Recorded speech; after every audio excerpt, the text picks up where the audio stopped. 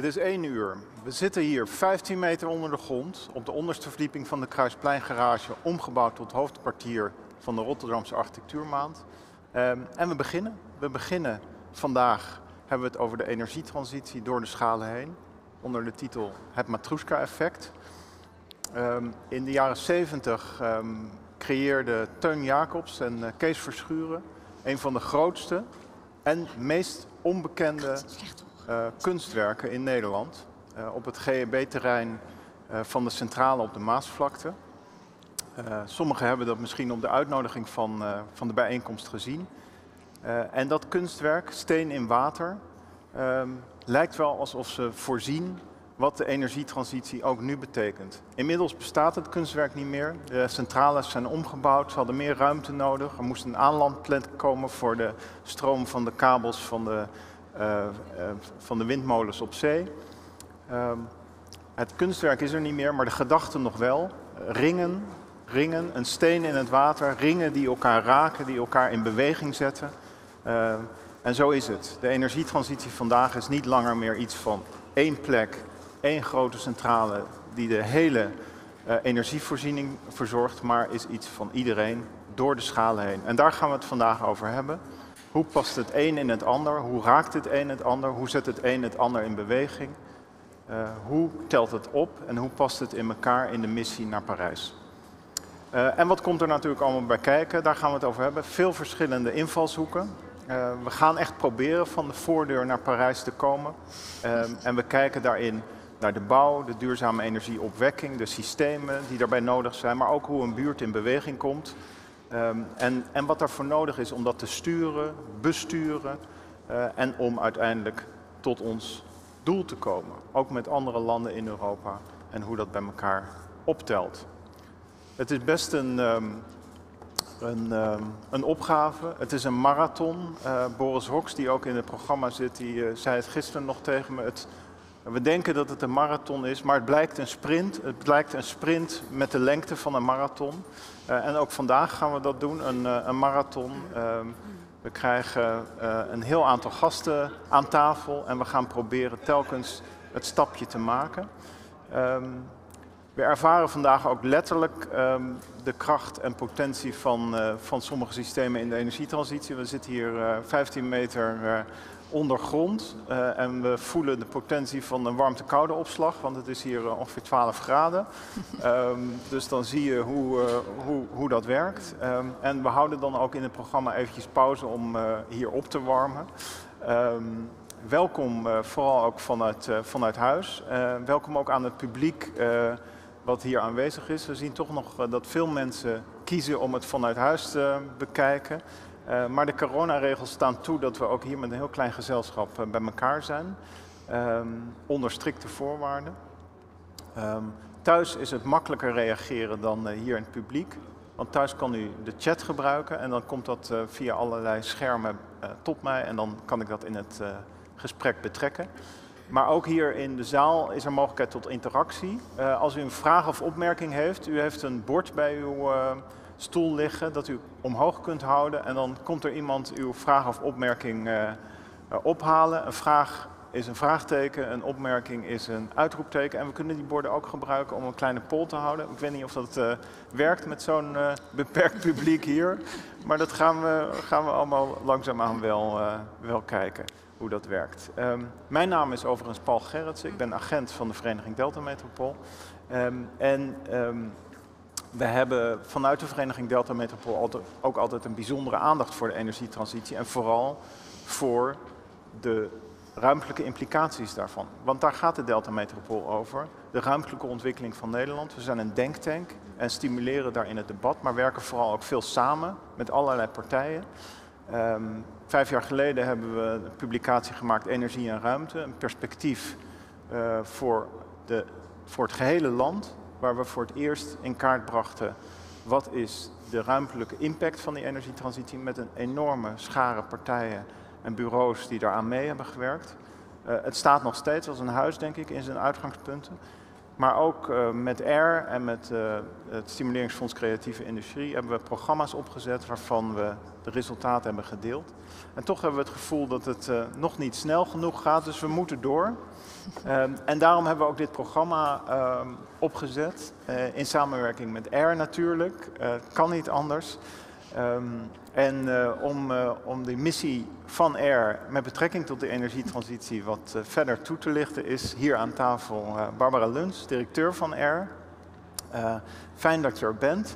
Um, en ook aan tafel is Anastasia Graniotti, onderzoeksmedewerker specifiek gericht op de regionale energiestrategieën en de ruimtelijke impact daarvan bij het Planbureau voor de Leefomgeving. Um, welkom. Jij was eerder ook betrokken bij de studies in de Delta-metropool, dus uh, fijn dat je uh, uh, hierbij aanwezig kan zijn. En we proberen even in het eerste deel van het gesprek even het podium gereed te maken.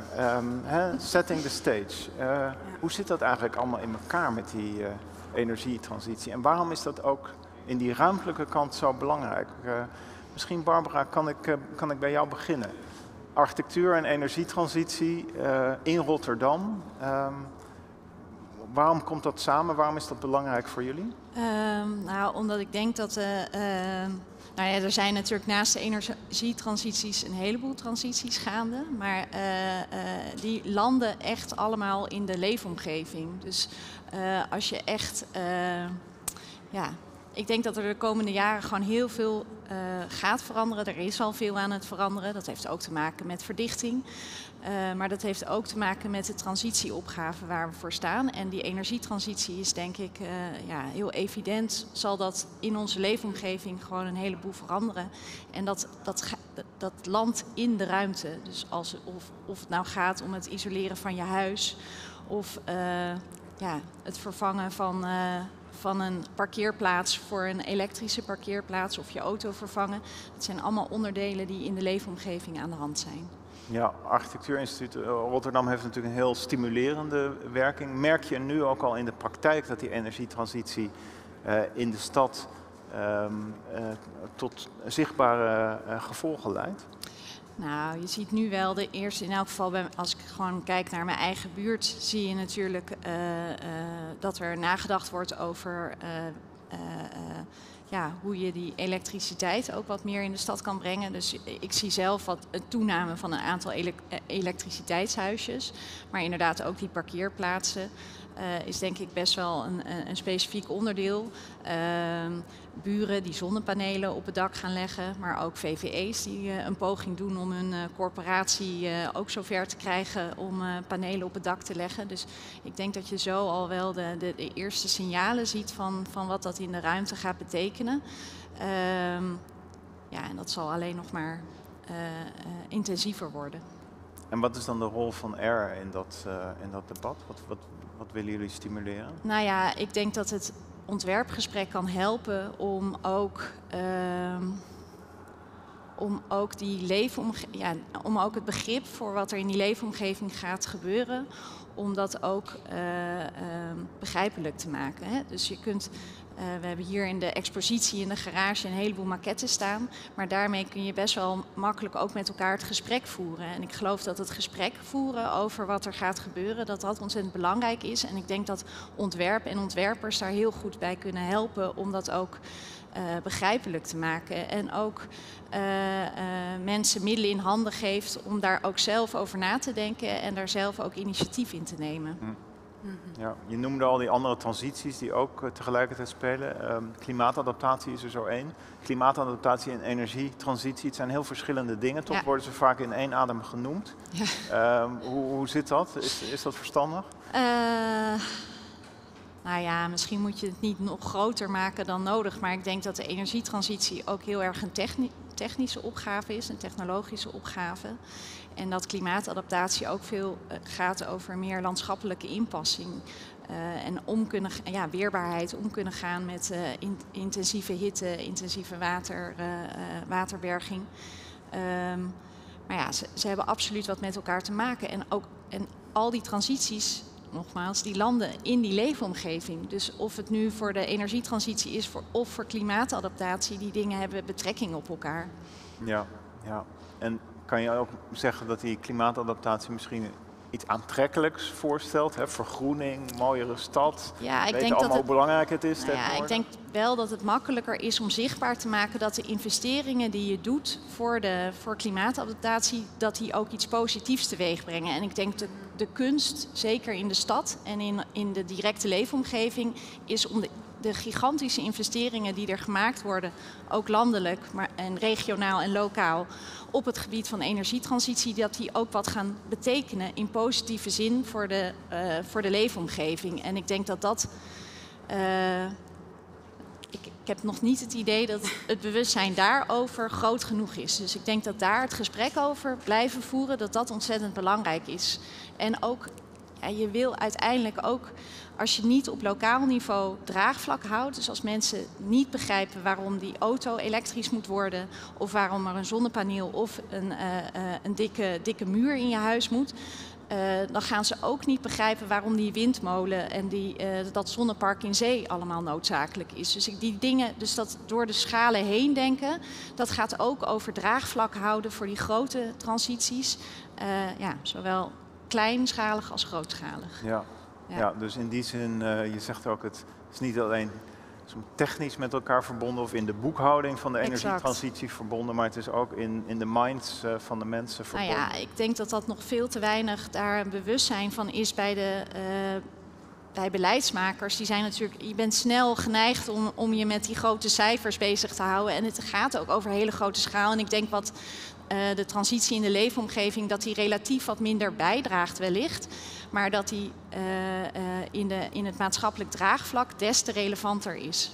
Ja, misschien wel cruciaal. Ja, goed, we, we, krijgen dat uh, later op in het programma absoluut nog, nog terug aan tafel. Anastasia, jij werkt bij, bij het Planbureau voor de Leefomgeving. Wat is dat? Wat, wat doen jullie? Het is het Nationaal Kennisinstituut voor beleidsanalyse. Dus wij focussen altijd op nationaal beleid. En wij proberen dit ook te verbeteren.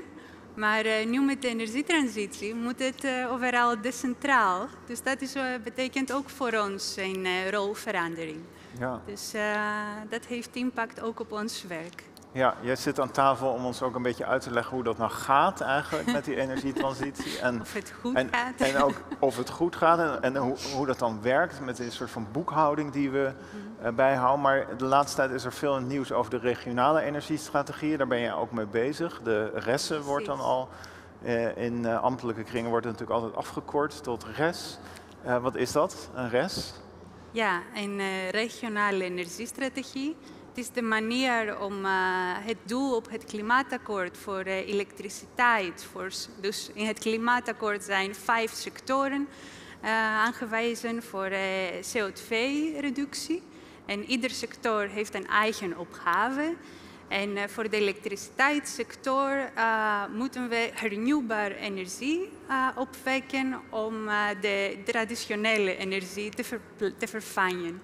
Dus uh, het ene doel is voor uh, wind op zee om daar uh, eh, 49 terawattuur op te wekken. En het tweede onderdeel is om hernieuwbare energie op land op te wekken. En daarvoor is een nationale opgave van 35 terawattuur, om ook de cijfers zoals het hoort bij het PBL te noemen, is een nationale opgave opgesteld en om, dat, om die opgave, om dat doel te halen, zijn binnen Nederland 30 energieregio's opgericht. En deze energieregio's zijn een samenwerking van uh, gemeentes, provincies, maar ook waterschappen. En uh, daar doet ook het Rijk mee met de ministeries van Economische Zaken en Binnenlandse Zaken. En het is een grote samenwerking waar een strategie voor de energietransitie moet ontstaan binnen elke regio. En dus de regio's zijn specifiek opgericht alleen maar met het doel om, uh, om die energietransitie handen en voeten te geven.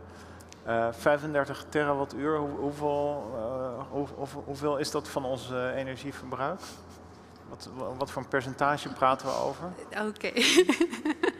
Ik weet dat het een klein kwart van onze elektriciteitsgebruik in 2030 is. Dus het is alleen maar een klein onderdeel van de totale opgave. Dus ja, het is inderdaad alleen maar één onderdeel van het systeem. En daarom moeten ook allerlei andere aspecten, zoals industrie, maar mobiliteit, zoals Barbara net zei, deze zijn ook de transitie van de gebouwde omgeving. Allemaal moeten ze uh, een, een, bijdrage leveren aan deze transitie. Ja, dus het is, het is, iedereen moet een bijdrage leveren. Dat heeft verschillende aspecten. Het zijn heel verschillende ja. vormen van energiegebruik en wat je daaraan moet doen. Um, maar op regionaal niveau is het dus belangrijk om die duurzame opwekking van elektriciteit uh, gestalte te geven. Gaat de rest niet over warmte? De rest gaat ook over warmte, maar dan over de bovengemeentelijke coördinatie eigenlijk van de warmtetransitie. Dus de regio's hebben een tweede opgave naast het opwekken van hernieuwbare elektriciteit om ook uh, op regionaal niveau de warmtevraag en warmteaanbod in kaart te brengen. En dat zien we dat ze ook al doen. Er zijn regio's zoals Rotterdam, Den Haag. Daar speelt war warmte een belangrijke rol. en je ziet ook dat de provincies een heel belangrijke rol nemen in deze warmtetransitie door het in kaart brengen van warmtevraag en warmteaanbod. Dus de regionale schaal speelt daar ook een belangrijke rol. Ja, dit is natuurlijk allemaal in gang gezet vanwege de Parijse akkoorden, de klimaatakkoorden en de doelstelling die gaat over de anderhalve graad, hè, waar we liefst niet boven moeten komen. Ja. dat gaat over een CO2-budget. Uh, kan je nou zeggen dat het PBL eigenlijk een beetje de boekhouder is waar het gaat om die energietransitie van Nederland? Ja, dat is inderdaad de rol die wij hebben gekregen de afgelopen jaar. Wij publiceren elke jaar het, de nationale energie, klimaat- en energieverkenning. En uh, daar doen we inderdaad een beetje de boekhouding. Dus we kijken in hoeverre het nationale doel ook gehaald wordt. Um, en daarmee krijgen we ook een heel belangrijke positie in, deze, uh, in de monitoring eigenlijk van de energietransitie. Maar je merkt dat naast de boekhouding ook de andere aspecten, de meer kwalitatieve aspecten, een steeds belangrijke rol belangrijkere rol krijgen in de energietransitie. Dus dan hebben we het inderdaad over ruimtelijke kwaliteit, over draagvlak, eh, maar ook over aspecten die naast het opwekken van energie een rol spelen, zoals de distributie van de energie en het uh, energiesysteem, die ook, uh, dat ook aangepast moet worden. Ja, ja. Um, en als je nou kijkt naar die ontwikkeling, hè, ik, ik zei al in de introductie, het is een marathon die uh, blijkt een sprint te zijn, maar wel uh, voor 42 kilometer. Mm -hmm. um, hoe gaat dat eigenlijk? Zijn we al met dat sprintje begonnen of, of schiet het nog niet erg op? Ja, ik denk dat we wel begonnen zijn. We zijn nog steeds, denk ik, aan de kick-off fase van de transitie. En we moeten nog naar de versnellingsfase lopen. Maar als, je naar, tenminste, als ik naar de resten kijk, ik zie dat we zijn in um, 2019 met een opgave die, alle uh, regio's moesten halen. En daarvoor was ook een plan B uh, toen opgericht, dus de route 35. Die moest ervoor zorgen dat als de regio's geen uh, voldoende ambitie hebben, dat er moet vervolgens een, en iemand extern misschien extra druk leggen om die ambities wel te, te noemen. Maar uiteindelijk zie ik dat de regio's veel ambitieuzer zijn dan wij misschien van het begin hadden bedacht. En uh, je ziet dat ze met een uh, veel grotere uh, boot komen dan aan hun gevraagd is.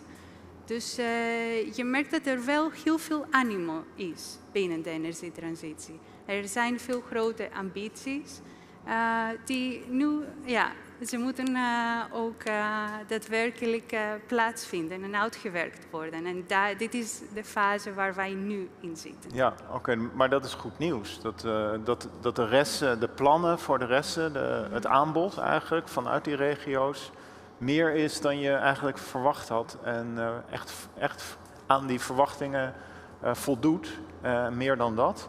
Um, toch eventjes hoor, want die, die regio's zijn er specifiek opgericht voor, uh, voor die energietransitie. Uh, een regio, dat past toch helemaal niet in het huis van Thorbecke. Dat is de, uiteindelijk toch, toch helemaal niks. Hoe zit dat met, met de verantwoording en de democratische legitimatie? Zie je daar, zie je daar een probleem? Moet ik dat straks aan de wethouder vragen? Ja, het is waar dat de regio geen formele bestuurlijke status heeft. Dus het is een samenwerking van meerdere schaalniveaus. we zien wel dat er meerdere regio's zijn die wel gebaseerd zijn op een al eerder bestaande samenwerking voor andere agenda's en voor andere thema's, zoals economische ontwikkeling. Dus meerdere regio's hebben al een geschiedenis van samenwerken.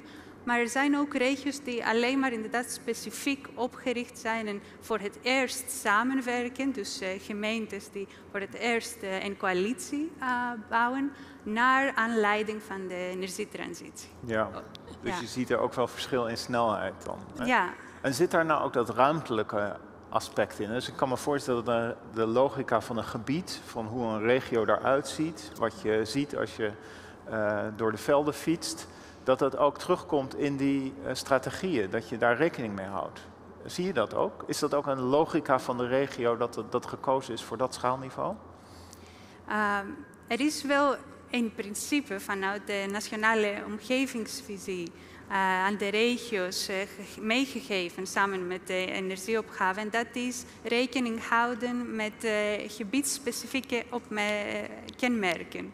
Dus ik zie wel dat alle regio's deze principe heel erg omarmen. En ze kijken inderdaad naar lokale identiteit. Ze hebben allemaal samengewerkt met ontwerpbureaus en ze hebben analyses gedaan. Um, uiteindelijk of dat ook um, een, uh, een concrete uitwerking krijgt in het kiezen voor zoekgebieden, daar zie je verschillende aanpakken tussen de regio's. Dus um, er zijn, uh, soms is dit proces een beetje gescheiden van het uiteindelijk, uh, de, de, zoekgebieden die uiteindelijk op de kaart komen. Ja, oké. Okay. Um... Ja, het, is, het, zijn, het zijn processen, het zijn uh, strategieën, het zijn plannen. Maar ik denk toch de hele tijd, uh, je hebt zelf to, toen je nog bij de Delta Metropool werkte, een eerste kaart gemaakt van alle regio's, aan elkaar geplakt. Ehm, dat was vijf jaar geleden of zo. Mm. The house is on fire, jongens. gaat het niet veel te langzaam? Ten eerste hebben we de kaart inderdaad opnieuw nu gemaakt met de monitor rest. Dus uh, er is inderdaad uh, voortgang ook geboekt. en ja, of het langzaam gaat. Ik, ik, zie dat het helemaal niet langzaam gaat. En uiteindelijk gaat het ook... Er, er, zijn ook anderen die zeggen dat het eigenlijk heel snel gaat. Dus je ziet dat er is ook een specifieke capaciteit aan het of uh, in, in, de, in hoeveel verandering ook mensen uh, tegenaan kunnen. Dus dat daar moeten we ook rekening houden. Uh, maar ik denk dat het eigenlijk past bij een transitie, dat het aan het begin een beetje langzaam aangaat en vervolgens gaat het helemaal nog de versnelling komen. Dus uh, ik denk dat wij op dit moment uh, bouwen op de goede voorwaarden en de bouwstenen. En vervolgens moeten we echt focussen op de uitvoering en de uitwerking. Ja, Barbara, hoe kijk jij daar tegenaan? Wat, Nou, is jouw ik- opvatting daarover? Hè? ja, Plannen, kijk- strategieën, eh, zet dat mensen in beweging? Nou ja, ik denk misschien ook veel meer als burger dan als. eh, eh, hè, als ik er zo naar kijk, dan denk ik. Eh, eh, volgens mij is het wel goed om het continu te blijven verbinden aan wat er ook op lokaal schaalniveau gebeurt. Dus eh, het is natuurlijk fijn dat de rest, de regio, op gang komt. Maar hoe verhoudt zich dat tot die leefomgeving? En als die regio dan eindelijk op gang is, is, de, ja, is de buurt dan ook wel aangehaakt. Dus ik, denk dat dat nog steeds wel. Nou ja, dat daar wat mij betreft wel meer aandacht voor mag komen. Ook hoe je. eh, dus het gaat niet alleen maar over eh, feitelijke. eh, ja, zonnecellen of, of van het gas af, maar ook gewoon echt het bewustzijn dat die leefomgeving, dat er gewoon wat op gang komt. Dus dat dat in de regio nu leeft doordat ze met die beleidsplannen bezig zijn, dat is natuurlijk fantastisch. En dat ze daar ambitieus in zijn, dat is natuurlijk helemaal mooi.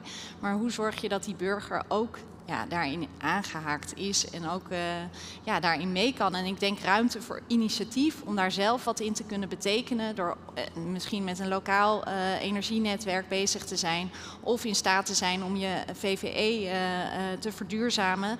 Dat zijn volgens mij wel belangrijke facetten om ook dat draagvlak te verbinden aan wat er op regionaal schaalniveau gaat gebeuren. En volgens mij moet daar veel meer. Nou, daar mag nog wel wat extra energie op als je het mij vraagt. Dus eh, En hoe zou je dat anders kunnen doen ook in relatie tot zo'n res? Of is moet je het op een hele andere manier aanpakken? Zijn er andere middelen voor nodig? nou ja, ik denk dat er in de stad, en zeker in Rotterdam en ook via het Stadmakerscongres, kom je natuurlijk in aanraking met een heleboel lokale initiatiefnemers. Eh, maar die stuiten vaak, zodra het zich wat opschaalt, stu- stuiten ze op barrières en daar ruimte aan geven. En dat ook serieus nemen als een belangrijk onderdeel van die transitie. En niet alleen een beetje, nou ja, ge, in, ge- marginaal eh, leuk dat je ook eh, zonnepanelen op je dak hebt. eh, hè? Dus maar dat serieus nemen, ik denk dat dat wel heel erg eh, kan helpen in ook eh, uiteindelijk ook iedereen betrokken krijgen in die transities. Ja. En ja, nou ja. Wordt, er, wordt er voldoende over gecommuniceerd? Ah, Anastasia, denk je? Ja, ik, ik zie ook, eh, ja, we lezen ook in de verschillende resten dat zij eigenlijk worstelen met communicatie met de burgers. Precies omdat eh, de rest eh, een document is dat op, ja, op een heel hoog abstractieniveau is gemaakt voor een burger om dat goed te begrijpen. Dus regionale schaal is niet meteen iets waar iedereen mee kan associëren. Dus daar is wel, eh, dat is wel een aandachtspunt voor de resten. Maar eh, er vindt ook momenteel eh, een grote discussie plaats over meerdere mogelijkheden om inderdaad de burgers te betrekken. Er, er wordt gekeken naar andere landen zoals Frankrijk, waar verschillende vormen zoals burgerberaad pla- van participatie plaatsvinden. Eh, ja, en eh, dus dat is wel iets dat eh, ik denk dat een discussie dat momenteel nog plaatsvindt en inderdaad ook binnen de resten. We hebben natuurlijk de nieuwe resten nog niet gelezen. Op 1 juli worden de RES 1.0 gepubliceerd. En daar moeten we wel zien of eh, burgers ook meegenomen hebben in hun Ja. proces. Dus dat is echt nog wel ook even een vraag in zo'n rest van hoe is dat in de richting van die burgers eh, verbonden. Ehm, burgerberaad, goed idee. Eh, is, is dat ook eh, iets waar er een rol in kan, kan spelen, denk je? Gaat, gaat het iets, dit is Nou zo'n majeure transitie, gaat het ook iets voor jullie organisatie betekenen, hoe je daarmee omgaat?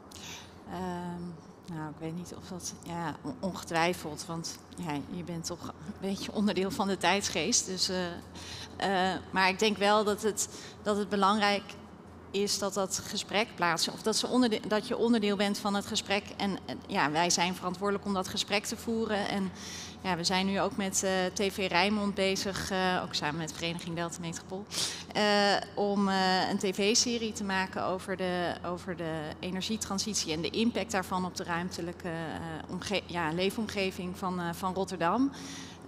Ook in de hoop dat je met, met behulp van ontwerp het ook wat tastbaarder kan maken voor, voor inwoners. En ja, het ook wat zichtbaarder kan maken. Ik denk dat dat, ja, dat continu ja, dat ook vertalen naar wat het betekent, dat dat ook best wel belangrijk is. Dus dat het niet alleen maar gaat om een soort eindbeeld, maar ook een soort de eh, tussenvertalingen. Hè, dat, dat dat ook heel erg belangrijk is om mensen uh, ja, bewust laten zijn van wat er gebeurt. Ja, dus een, een televisieserie. Uh, spannend. vertel daar eens wat over. Wanneer komt dat op de buis? nou, ik de, de, planning is om in het najaar te gaan uitzenden. En het is aan de hand van de vijf Rotterdamse klimaattafels. Mobiliteit, consumptie, gebouwde omgeving, schone energie, haven. En dan vergeet ik er altijd eentje. Maar dat, dus het is aan de hand van de tafels. En ja, die hebben natuurlijk ook weer allemaal invloed op elkaar. Dus, hè, dus mobiliteit staat uiteindelijk natuurlijk ook niet los van gebouwde omgeving. Dus het is denk ik ook juist in die, uh, in die ruimte komen die dingen natuurlijk ook bij elkaar. En ook die opgaves uh, bij elkaar. Dus dat is volgens mij uh, denk ik ook leuk om, om inzichtelijk te maken. Ja, maar dan echt van, van bottom-up belicht. Hè? Dus eigenlijk zie je het daar dan ook. Hè? Dus je ziet... Rotterdam, de stad is bezig met die klimaattafels, maar wat betekent dat dan? Ja, maar ik denk wel dat het interessant, het schaalniveau van de stad verbindt die twee denk ik ook iets beter. Dus hè, echt initiatiefnemers, maar ook verbonden aan wat, uh, waar de gemeente mee bezig is met een, op een net iets groter uh, schaalniveau. Dus zo zie je volgens mij ook al wel uh, ja, een combinatie van, van schaalniveaus die elkaar raken. Ja. Um, Anastasia, dat, je, je, noemt het zelf, hè, de burger beter betrekken, de resten worden daartoe uitgedaagd. Maar betekent het ook iets voor het PBL? Gaan jullie ook anders uh, opereren? Of blijven jullie in, uh, in dat grote gebouw daar in Den Haag uh, achter de rekenmachines kijken of het allemaal bij elkaar komt? Um, ik denk, ja, we zien ook dat wij zijn begonnen met een eh, technische transitie, zoals Barbara net zei. Maar we zien ook dat het uiteindelijk ook een maatschappelijke transitie wordt. En dat betekent ook voor ons dat wij eigenlijk onze blik moeten verbreden. En we zien ook dat inderdaad eh, aspecten zoals draagvlak en weerstand een grotere rol spelen. Ik weet niet of dat betekent dat wij de buurt in zullen gaan en uh, met de burgers in gesprek, maar het betekent wel dat wij vaker moeten samenwerken, bijvoorbeeld met uh, het sociaal uh, en uh, planbureau. Dus uh, wij moeten ook meerdere experts bij betrekken. Maar ik denk ook dat daar juist lokale architectuurcentra ook wel weer een rol in kunnen spelen. Dus dat je, je, je juist ook die netwerken van, van ruimtelijke programmamakers, dat dat natuurlijk ook een, een rol kan zijn. Ja, ik denk wat dat betreft zijn er natuurlijk ook weer een soort nieuwe samenwerkingen die aangegaan kunnen worden. Ook mm -hmm. met betrekking tot die transitieopgave. Uh, Net zoals wij dat dan zoeken met een tv-serie of... Uh, ja. Ja, ja, want overal in Nederland zijn architectuurcentra natuurlijk. Ja. Je zegt die gaan ook mee met de tijd. En, uh, en een samenwerking tussen bijvoorbeeld planbureau en, en die netwerk van die architectuurcentra zou misschien ook wel. Ja, absoluut. Ik denk dat, dat, uh, dat daar juist goed voelbaar is wat er ook lokaal speelt. En zonder dat dat een continu een soort gesprek met de burger is, hè, maar dat dat ook op een soort strategisch ruimtelijk niveau, maar wel ja, iets dichter bij uh, wat er leeft. Uh, ja, een belangrijk gespreksonderwerp kan zijn. Ja, ja ik, ik denk specifiek voor de RES is eigenlijk ook het nationaal programma RES opgericht. En daar zie je wel dat dit soort kennis ook uh, meer dicht bij de regio's komt. En daar wordt heel veel discussie georganiseerd. Dus uh, ik denk dat uh, wij ook vanuit PBL hebben heel vaak ook interactie met het nationale programma RES om daar ook weer kennis en input uit te halen. Dus in wat uh, de in, binnen de regio's gebeurt. Dus uh, dat is ook uh, denk ik een interessante partner voor de kennisuitwisseling. Ja, ja je noemt internationaal, hè, de internationale inspiratie. Bestaan regionale energiestrategieën ook elders in, in de wereld? Uh, ja, dat is een goede vraag. we zijn dat momenteel aan het onderzoeken en het lijkt van niet. Omdat ja, de resten een heel bijzondere constructie zijn eigenlijk. Ze zijn top-down, maar ook bottom-up. Dus de, verbinding tussen verschillende schaalniveaus, maar ook de open opgave voor de regio's, de techniekneutrale opgave. Dus waar zij uh, zelf kunnen bepalen hoeveel wind en hoeveel zon, dus de verschillende technieken. Dat is iets heel unieks dat in andere landen niet zo heeft uh, plaatsgevonden. Dus misschien, uh, ja, het is ook een leuk experiment dat, waar je misschien ook internationaal kunnen communiceren. Ja, dus daar wordt het, in andere landen wordt het veel meer van bovenaf opgelegd? Of?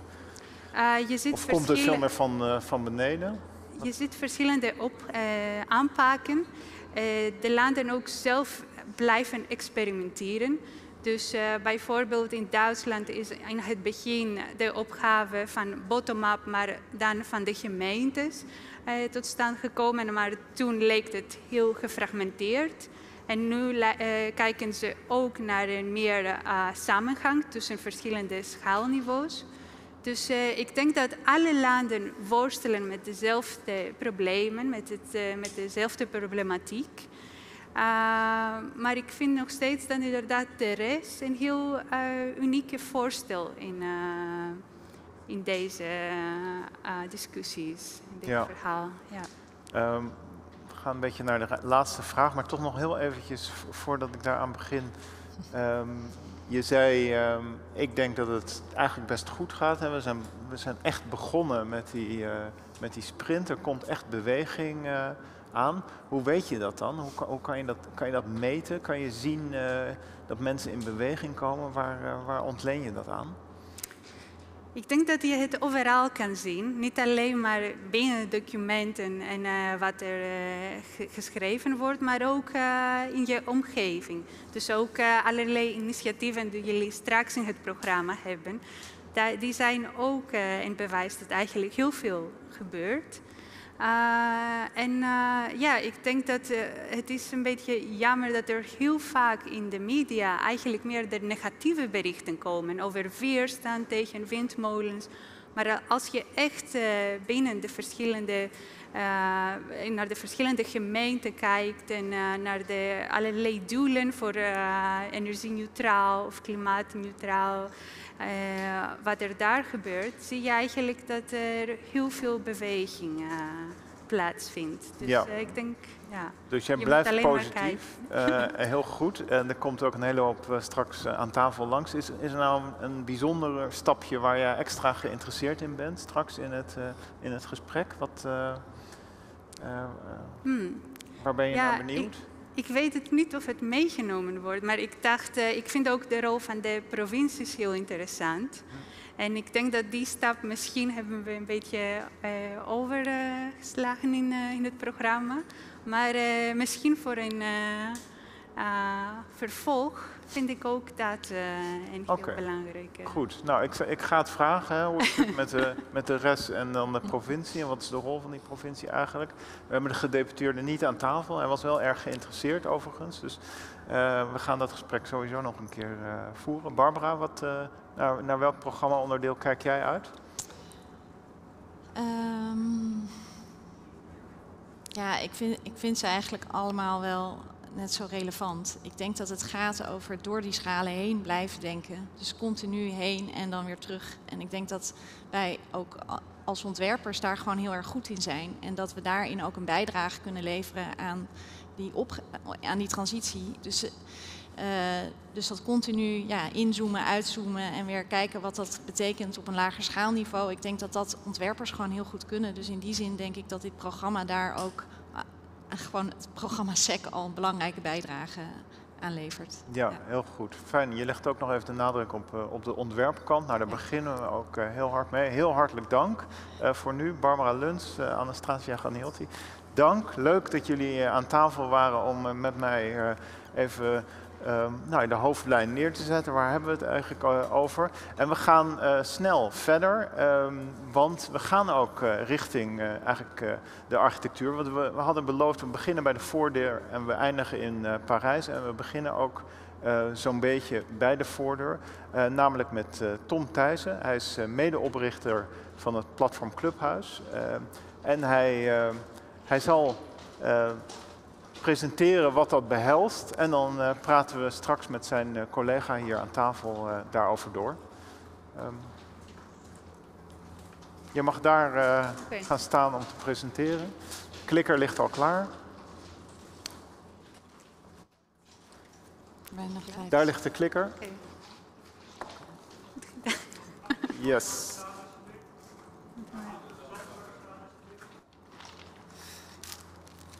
Ja. Kijk, Tom, daar ben je. Ah ja, ik zie mezelf. Ja, top. Ja, ja dankjewel uh, Paul voor, uh, ja, voor het podium. Um, nog even heel snel kort uh, reageren op wat Anastasia zei over het re regionale niveau of de provincie. Daar ben ik het wel mee eens. En ik hoop dat we daar later in de conclusie wel even op in kunnen haken. Um, ja, dankjewel. Welkom ook iedereen thuis en de enkele in de zaal ook welkom. Um, eh, dank Delta Metropool om even ja, ons de gelegenheid te geven wat, hoe wij in de praktijk nadenken over wat we nu het Matrushka-effect genoemd hebben. Of wat ontwerpers door de schalen heen ontwerpen noemen. Um, wij zijn, zoals gezegd, nul architecten en clubhuis. Waar nul architecten eigenlijk um, ja, onze ontwerpstudio is en clubhuis onze platform is wat um, bedoeld is om samenwerkings, samenwerkingsprojecten of samenwoonprojecten op te starten. Um, ja, eigenlijk is het een beetje een, ja, een beetje lastige, moeilijke om te bekennen dat de projecten die te maken hebben met samenwonen tot op heden nog niks concreets hebben opgeleverd. Het zijn nog uh, allemaal, uh, ja, ze zijn voor, voor, het grotendeel blijven steken in het, ja, in het, in het wordingsproces, zeg maar. de projecten van nul architecten verder zijn gerealiseerd of lopen in ieder geval een hele grote kans om gerealiseerd te worden. Um, zoals bijvoorbeeld het Huis JB in Zutphen, um, wat onlangs prijs voor het duurzaamste huis van Nederland heeft gewonnen en op tv is geweest bij Binnenste Buiten. Um, en uh, ja, hier in Rotterdam hebben we de Europan uh, gewonnen samen met uh, Keizer Koopmans. Dus um, op zich zijn we lekker bezig, maar dat samenwonen dat, dat, dat is nog niet zo eenvoudig eigenlijk. Um, wat is Clubhuis nou eigenlijk precies? Uh, ja, dat, dat, clubhuis, zoals gezegd, hebben we uh, vanuit onze. Uh, ja, eigenlijk wat we gewoon merkten in onze directe omgeving. Ehm, mijn oudersgeneratie, maar ook via vrienden, um, familie, die eigenlijk best wel ja, gewoon heel veel gesproken wordt over ja, het idee van samenwonen, samen een huis bouwen. En ja, dat, dat, daar is volgens mij een markt voor. En dat is de reden waarom we dit opgestart hebben. Um, een andere reden is um, een soort van uh, ja, persoonlijke um, uh, ja, soort van verhouding tot de Nederlandse architectuur. Namelijk dat we het idee hebben dat je als je via de uh, gang van, zeg maar de, de bekende gang van zaken, via een ontwikkelaar bijvoorbeeld projecten ontwikkelt en, en ontwerpt, zodat je eigenlijk eh, een beetje hetzelfde straatje behandelt en wel een klein beetje diversiteit krijgt, maar niet zoveel als dat, wij, als dat wij eigenlijk zouden willen. Dus we zijn eigenlijk op zoek naar wat, um, ja, wat wat specialere projecten. En denken dat te kunnen realiseren met een, ja, op, dus ook op een andere manier. Um, de vereniging Delta Metropool uh, daarvan is, is me opgevallen toen ik uh, uh, jullie bestudeerde. Um, uh, dat wat wij belangrijk vinden ook door jullie onderschreven wordt. Op de website staat letterlijk op alle schaalniveaus tegelijk acteren. En dat is eigenlijk ook iets wat wij altijd proberen. Ik als, ja, ook in mijn rol als landschaparchitect, um, architect. En ja goed, Douwe ook vanuit zijn rol als architect proberen we eigenlijk op allerlei verschillende schaalniveaus proberen we met de mensen in een groep dat, dat te doen. Eigenlijk zoals dat hier ook gezegd wordt. En voor ons is dat eigenlijk ook, ja, als we dat matroeskaatje openmaken vanuit de stad Rotterdam, reageren op ja, communitygebouwen, de, de mensen, de community die daarin zit, kijken wat voor netwerken zitten daar. Maar ook welke cruciale, um, soms ook gewoon kleine precaire individuen zijn er die, die gewoon een wens hebben waar je op kan verder bouwen, die aanleiding vormt. Um, en we denken eigenlijk, uh, ja, terugkoppelend naar ja, waarom we hier zijn vandaag, uh, dat die energieagenda en die klimaatagenda, dat dat eigenlijk iets is wat gewoon onder de mensen speelt. En dat zien we ook terugkomen in onze workshops. Is dat gewoon eigenlijk iedereen dat gewoon heel belangrijk vindt. En um, uh, ja, gewoon, dus wij denken op het moment dat je, dat, dat je zo'n clubhuisproject van de grond krijgt, dan worden dat soort belangen vanzelf behartigd vanuit de mensen zelf. Um, en dat, ja, zoals gezegd, zien we dat ook in zo'n uh, in zo'n groep mensen. Uh, dit is een uh, groep um, ja, wat oudere mensen die voor hun, ja, eigenlijk voor hun oude dag zelf een huis wilden bouwen, willen bouwen. En een groep in Zutphen. En ja, met hun maken we eigenlijk een workshop, of maken we workshops, spellen om, um, ja, om erachter te komen wat, waar hun prioriteiten liggen. Met het prioriteitenspel bijvoorbeeld, waar we bouwkosten afzetten tegen um, ja, wat, welke klimaatdoelen of welke uh, duurzaamheidsdoelen we zouden kunnen behalen. Uh, waar, je bijvoorbeeld, waar je onder de streep op een gegeven moment kan zien van nou ja, wat kost je project en ook wat brengt het op uh, klimaattechnisch. Um, en natuurlijk vanzelf je prioriteiten zal moeten maken. Um, andere methode die we inzetten, vooral in het begin, is de kaartenmethode, waarin we eigenlijk um, mensen stimuleren. Ik wilde dwingen zeggen, maar nou goed, we stimuleren mensen eigenlijk om uh, eerlijk te zijn over wat ze nou eigenlijk echt vinden. Ook de dingen die ze niet willen. Dus mensen mogen volgens een thema, mogen ze bijvoorbeeld, uh, nou ja, laat het thema tuin zijn, groene kaartjes, zeggen wat ze absoluut niet in hun eigen tuin willen hebben. En welke dingen ze absoluut wel in hun gemeenschappelijke tuin willen hebben. En zo kom je er eigenlijk achter wat nou eigenlijk je, ja, wat mensen nou eigenlijk echt willen. En dat is gewoon belangrijk, want op die manier creëer je dus dat draagvlak uh, waar we naar op zoek zijn. En uh, vervolgens ook uh, de een verbinding die je later contractueel aangaat. En het vertrouwen wat daarbij hoort om, om verder te gaan. Nou ja, toch, zoals eerder gezegd, hebben we nog niets mogen realiseren tot op heden. al gaan we natuurlijk vol bak er tegenaan en zetten we met positieve moed zetten we gewoon, gaan we gewoon door. Um, maar um, we hebben gewoon een, een, strategie bedacht eigenlijk om dat proces te doorlopen. Ik weet niet of dit goed zichtbaar is voor de mensen achter in de zaal. Maar dit is in ieder geval uh, het laatste, het grijze deel is uh, het proces wat veel architecten onder ons kennen. Is eigenlijk SOVO-DO uitwerking, uh, bouw. En de eerste drie zijn eigenlijk wat wij hebben toegevoegd binnen ons clubhuisconcept. Om ja, gestalte te geven aan dat... Uh, aan dat voorproces wat je, wat je, wat je dus doet met, uh, met woongroepen. En dat doen we eigenlijk, uh, zo leggen we dat ook uit aan onze, aan onze klanten en aan onze opdrachtgevers, om ervoor te zorgen dat er een duidelijk concept ontstaat. Want dat is eigenlijk iets waarmee je kosten bespaart. En dat is iets wat mensen vaak niet begrijpen, maar op het moment dat je een, eigenlijk een duidelijke lijn uitzet, dus dat je um, gewoon weet ja, wat er gaat komen en niet te veel hoeft aan te passen gaandeweg, bespaar je eigenlijk geld. Omdat eigenlijk besparen, of, of aanpassingen verderop in het proces steeds duurder worden. En uh, op het moment dat je het zo uitlegt, dan merken wij dan, ja, dan kunnen opdrachtgevers dat gewoon begrijpen.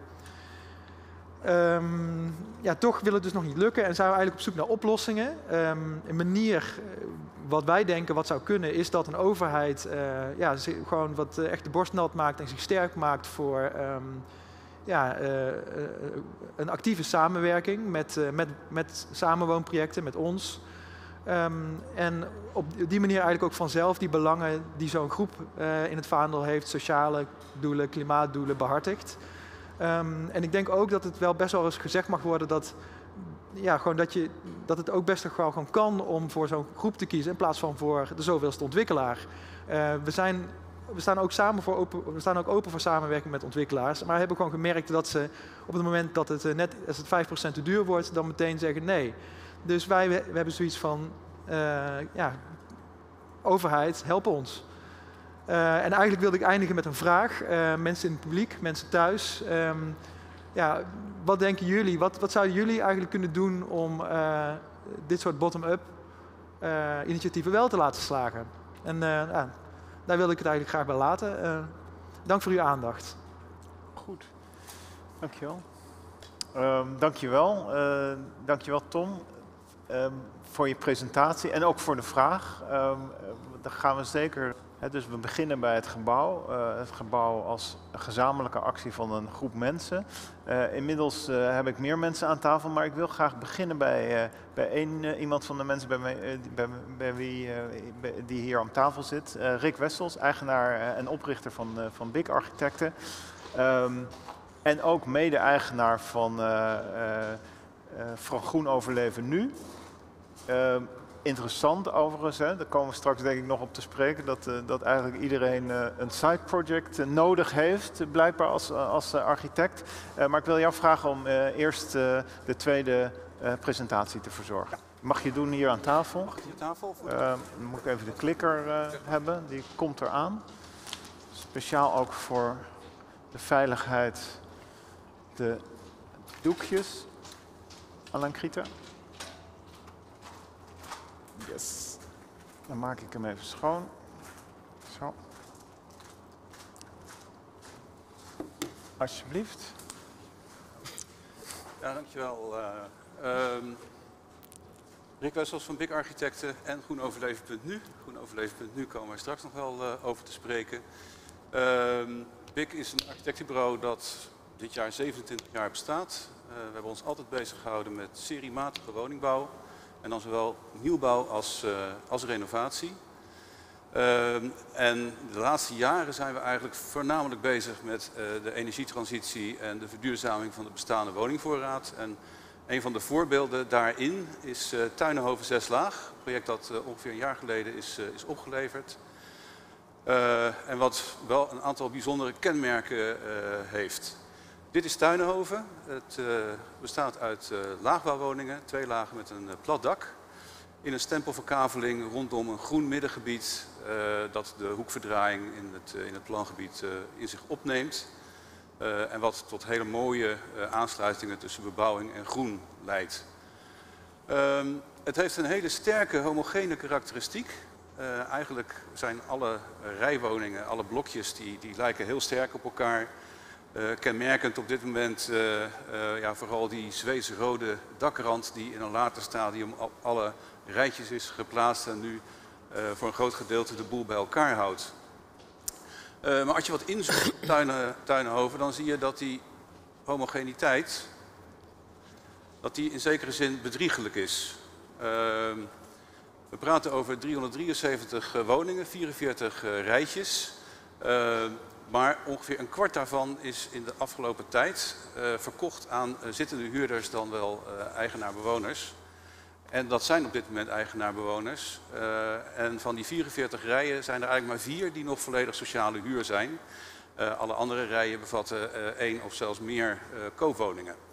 En dan ontstaat er iets in dit land wat vrij vervelend is. de sociale huurwoningen zijn in eigendom van Woonbron. Uh, en Woonbron is een woningcorporatie en een woningcorporatie mag uh, volgens mij sinds het tweede kabinet Rutte uh, alleen nog maar diensten van algemeen economisch belang uitvoeren en het verbeteren van koopwoningen valt daar niet onder. en dat betekent dus dat, hoe je het went of keert, die koopwoningen eigenlijk helemaal niet mee kunnen in die verduurzamingsslag die plaats heeft gevonden in, in Tuinhoven. En de ontwerpopgave is eigenlijk uh, vooral geweest, hoe zorgen we ervoor dat het niet zo opvalt dat die koopwoningen niet meedoen. Uh, en daar hebben we verschillende uh, strategieën op, op losgelaten. eerst langs de lijn van de bouwmethodiek. Kunnen wij niet gewoon het bestaande buitenmetselwerk, het buitenblad slopen, dan terugmetselen in stenen van 7 centimeter dik. en dan hebben we wat meer spouw, dus dan kunnen we goed isoleren en dan valt het eigenlijk niet zo heel erg op. maar helaas, er waren niet genoeg metselaars, zowel kwalitatief als kwantitatief, om 373 woningen op deze manier te vermetselen. dus daarna is gekeken naar industriële techniek met prefab gevelelementen. Uh, dan is het wat moeilijker om te verbergen dat bepaalde woningen niet, niet meedoen. maar uiteindelijk is hier wel voor gekozen, omdat het natuurlijk snel is en er ook voldoende productiecapaciteit is om die gevelelementen te maken. Ehm, maar ja, ehm, dan valt het wat meer op. En vervolgens hebben we gekeken of we met ontwerpstrategie iets konden. Namelijk in Tuinhoven is het rijtje de kleinste architectonische eenheid. En wat nou als je de woning tot kleinste architectonische eenheid zou maken? Uh, nou, dan zie je wel dat het uh, beeld aardig versnippert, maar het wordt ineens een stuk moeilijker om te vertellen wie er nou wel en wie er nou niet meedoen in de hele operatie. Ehm, ik denk nog steeds dat dit op een aantal plekken best had gekund in de, in de wijk. maar uiteindelijk is dit eruit gekomen. Waarbij de rij als kleinste architectonische eenheid bewaard is gebleven en de dakrand intact is, intact is gehouden om als verbindend element tussen alle woningen te dienen. Veel studie op wat voor stenen je dan kan toepassen op die steenstrips die op die prefab gevelelementen zitten. Nou, dat viel ook niet helemaal mee, want het lijkt wel homogeen, maar als je goed gaat kijken dan vind je toch verschillende kleuren metselwerk en probeer daar maar eens bij te horen. Uh, dus we hebben gekozen voor iets wat iets afwijkt en ook gekozen om te, te wat te differentiëren. Uh, de rijtjes liggen aan doorgaande straten of aan parkeerhoven. Nou, in parkeerhoven krijgen ze een lichte gevel met een donkere plint en in de doorgaande straten is dat precies omgekeerd. Je krijgt dus als het ware een subtiele differentiatie uh, binnen een nog altijd vrij sterke homogene karakteristiek. Maar ik moet wel zeggen, uh, als je goed gaat kijken, dan zie je echt wel wie er wel en niet meegedaan hebben aan de, aan de verduurzamingsingreep. Tot slot wat beelden. Uh, iets wat ik zelf met renovatie altijd wel interessant vind, namelijk je, je, je, vernieuwt eigenlijk het dak en je vernieuwt de gevel, volledig in dit geval. En dan merk je dat het, het, het, leven daarvoor toch, toch gewoon weer doorgaat. alsof er weinig gebeurd is. en dat is misschien ook wel de les die je een beetje kunt trekken uit dit, uit dit soort opgaven, het is in architectonische zin niet spectaculair. Het is wel duidelijk vernield. Het is ook energetisch een stuk beter. maar gelukkig gaan de bewoners gewoon door met waar ze al mee bezig waren, namelijk wonen. Goed, dank. Dankjewel Rick. Um, ik kom er zo op terug op het project, want um, je hebt het een aantal jaar geleden ook al gepresenteerd, uh, uh, volgens mij op Stadsmakerscongres een keer, uh, kan ik me herinneren, in een sessie bij mij. Toen was het nog niet af, dus nee. ik ben erg benieuwd naar, naar hoe, hoe, dat nu het af is, bevallen is. Maar toch eventjes nog even een vraag die ik had over wat je vertelde, want je bent natuurlijk als architect veel bezig geweest om eigenlijk te proberen... Um, nou ja, zo, zo, min mogelijk het hinderlijk te laten zijn dat er verschillen zijn tussen mensen die meedoen en niet meedoen. Ja. Um, is het nou ook zo dat, dat die verandering bij die corporatiewoning ertoe heeft geleid dat mensen die een koopwoning hadden toch hebben meegedaan uit, uit eigen zak? Is ja, dat, een, stak een, dat niet aan? Eén of twee. Eén of twee? Maar het, uh, uh, laat ik zeggen, het, het, het, het, het probleem wat, wat in feite nu in de gekozen bouwmethodiek uh, zit, is dat het relatief duur is. Het gaat wel snel, maar het is relatief duur. Dus kopers kunnen daar sowieso al vrij slecht aan, aan meedoen. Uh, en eh, later iets doen wordt natuurlijk nog moeilijker, want dan zou je één element moeten laten komen. En dat past niet in zo'n productieproces natuurlijk. Nee. Dus eigenlijk zou je kunnen zeggen dat de gekozen bouwmethodiek ervoor gezorgd heeft dat kopers heel moeilijk mee konden doen. God, dat is bijna paradoxaal. Je zou zeggen, het uh, industriële product maakt mogelijk dat, uh, dat je hem zo bestelt en bij wijze van spreken ja. nog inhangt als het nodig is. Ja, maar het is, gewoon, het is relatief duur uh, en um, dat zal ongetwijfeld zakken. Hè. we waren een van de eerste projecten ja. met RC-panels, dus, en ze timmeren inmiddels flink aan de weg. Dus die vierkante meterprijs zal wel iets omlaag zijn gegaan, maar het is eigenlijk net als met houtskeletbouw. je betaalt de kozijnen dubbel. Ja. Want het, uh, de prijs voor een gevelelement is gewoon dit vierkante meter. En dan komt het kozijn er nog een keer bij. Ja. Diezelfde vierkante meters. Ja. Dat maakt het in zichzelf al wat duurder dan dat je het gewoon traditioneel zou doen. Dus de winst zit hem vooral in de tijd. Ja. Dus omdat het zo duur is, ga je ook niet eh, die, die panelen extra maken en eh, ergens opslaan en dan Nee. wachten tot mensen zover zijn. Nee. Goh, dat is een eh, interessant inzicht. Ehm eh Dank je wel. Ehm, Afgeschoten door RC-panels, dat begrijp je. voor nu.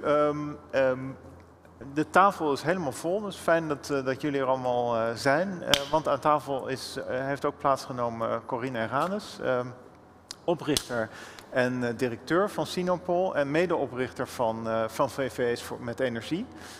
Dus je hebt daar ook eerder al over verteld. We zijn ook benieuwd wat, wat het doorwerken daaraan heeft op, opgeleverd. Ehm, Irma van Oort, eh, ook aan tafel, eh, partner bij eh, KCAP uit Rotterdam natuurlijk, maar ook lid van de welstandscommissie van Rotterdam. Welkom. Ehm, en ehm Douwe, Douwe Strating, jij hebt eh, even de, de plek overgenomen van Tom die net presenteerde, maar jij bent eh, ook een van de twee medeoprichters van, eh, van Clubhouse en directeur van Nul Architecten.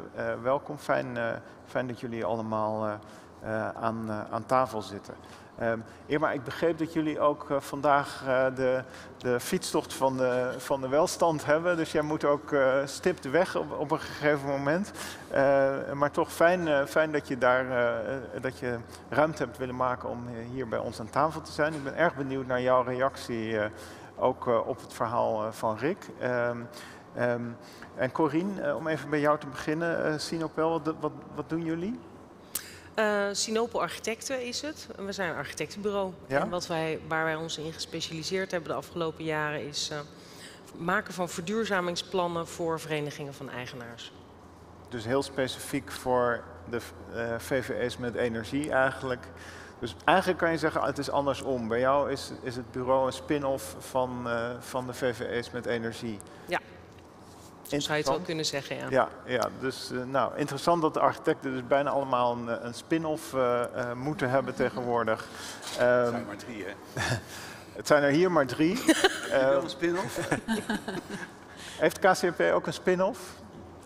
Eh, Meerdere misschien? ja, meerdere denk ik. Ja, kijk.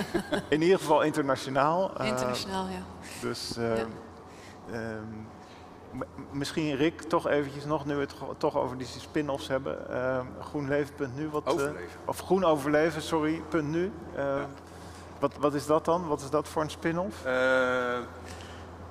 nou, ik, ik zeg altijd, eh, vroeger noemden we het renovatie en nu noemen we het verduurzamen.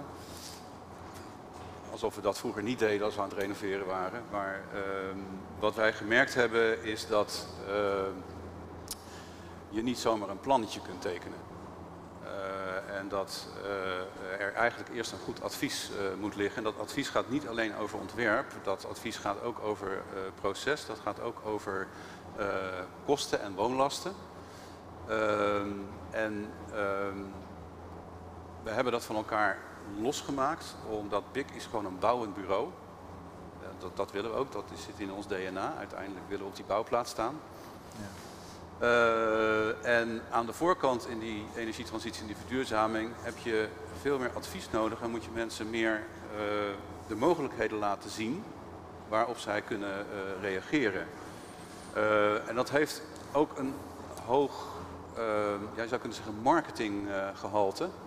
Eh, omdat het niet alleen gaat om de boodschap inhoudelijk, maar het gaat ook om hoe je het vertelt. En wat wij onszelf altijd voorhouden, wil je eh, überhaupt succesvol zijn met verduurzamen en energietransitie, dan zul je er eerst voor moeten zorgen dat mensen willen. En ons hele instrumentarium is er eigenlijk op gebaseerd om mensen te faciliteren, zodat ze het kunnen. Ja. Maar voor kunnen gaat willen.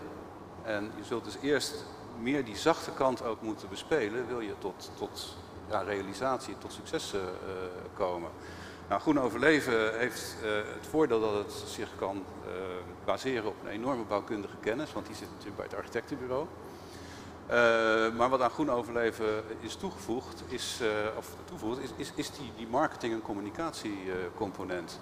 Waardoor het toch één boodschap wordt die heel duidelijk voor het voetlicht gebracht kan, kan worden.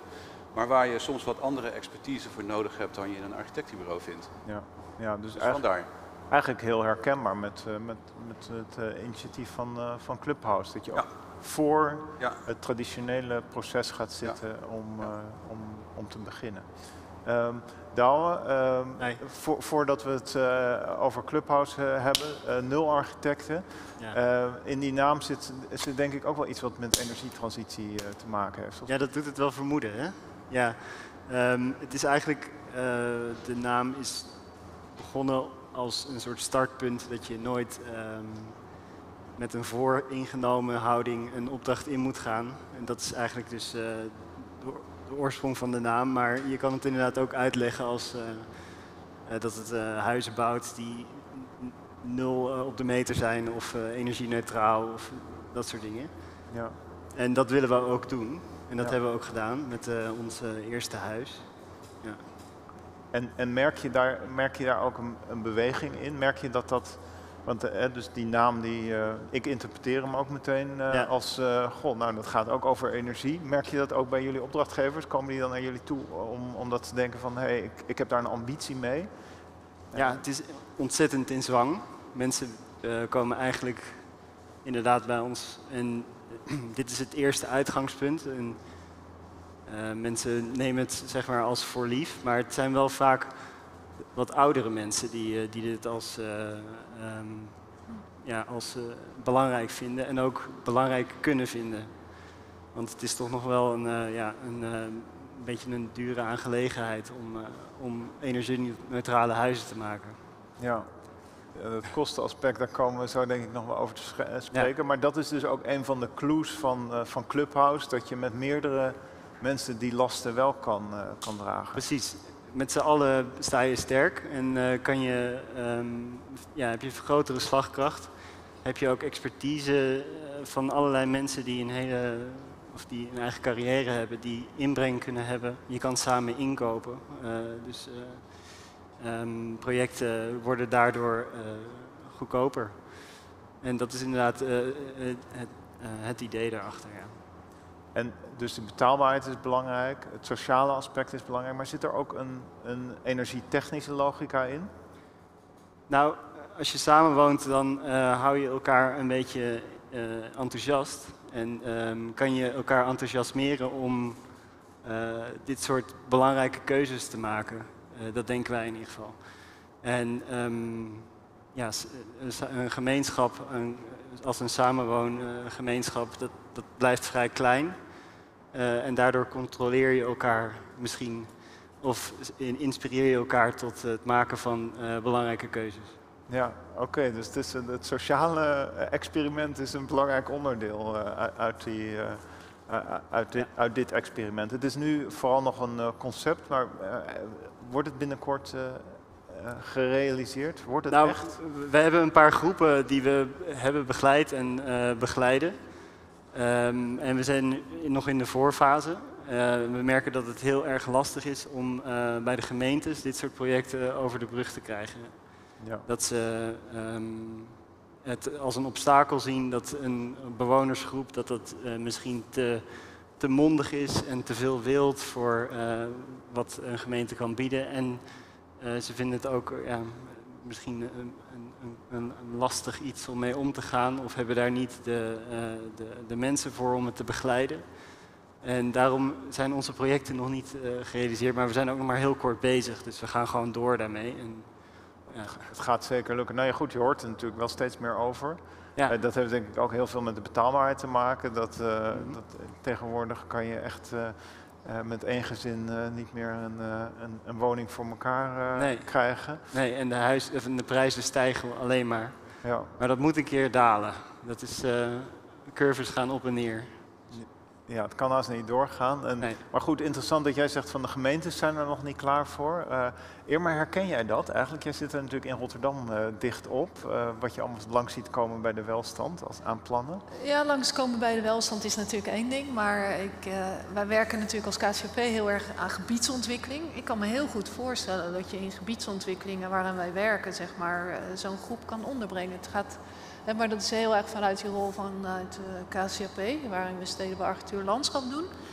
Maar vanuit de welstand ja, zien we niet zo snel dit soort groepen eh, voorbij komen. En dat is natuurlijk heel, hoe het heel formeel geregeld is. Wij krijgen gewoon bouwplannen voorgeschoteld. en dan beoordelen we die. Dus dat is de rol vanuit welstand.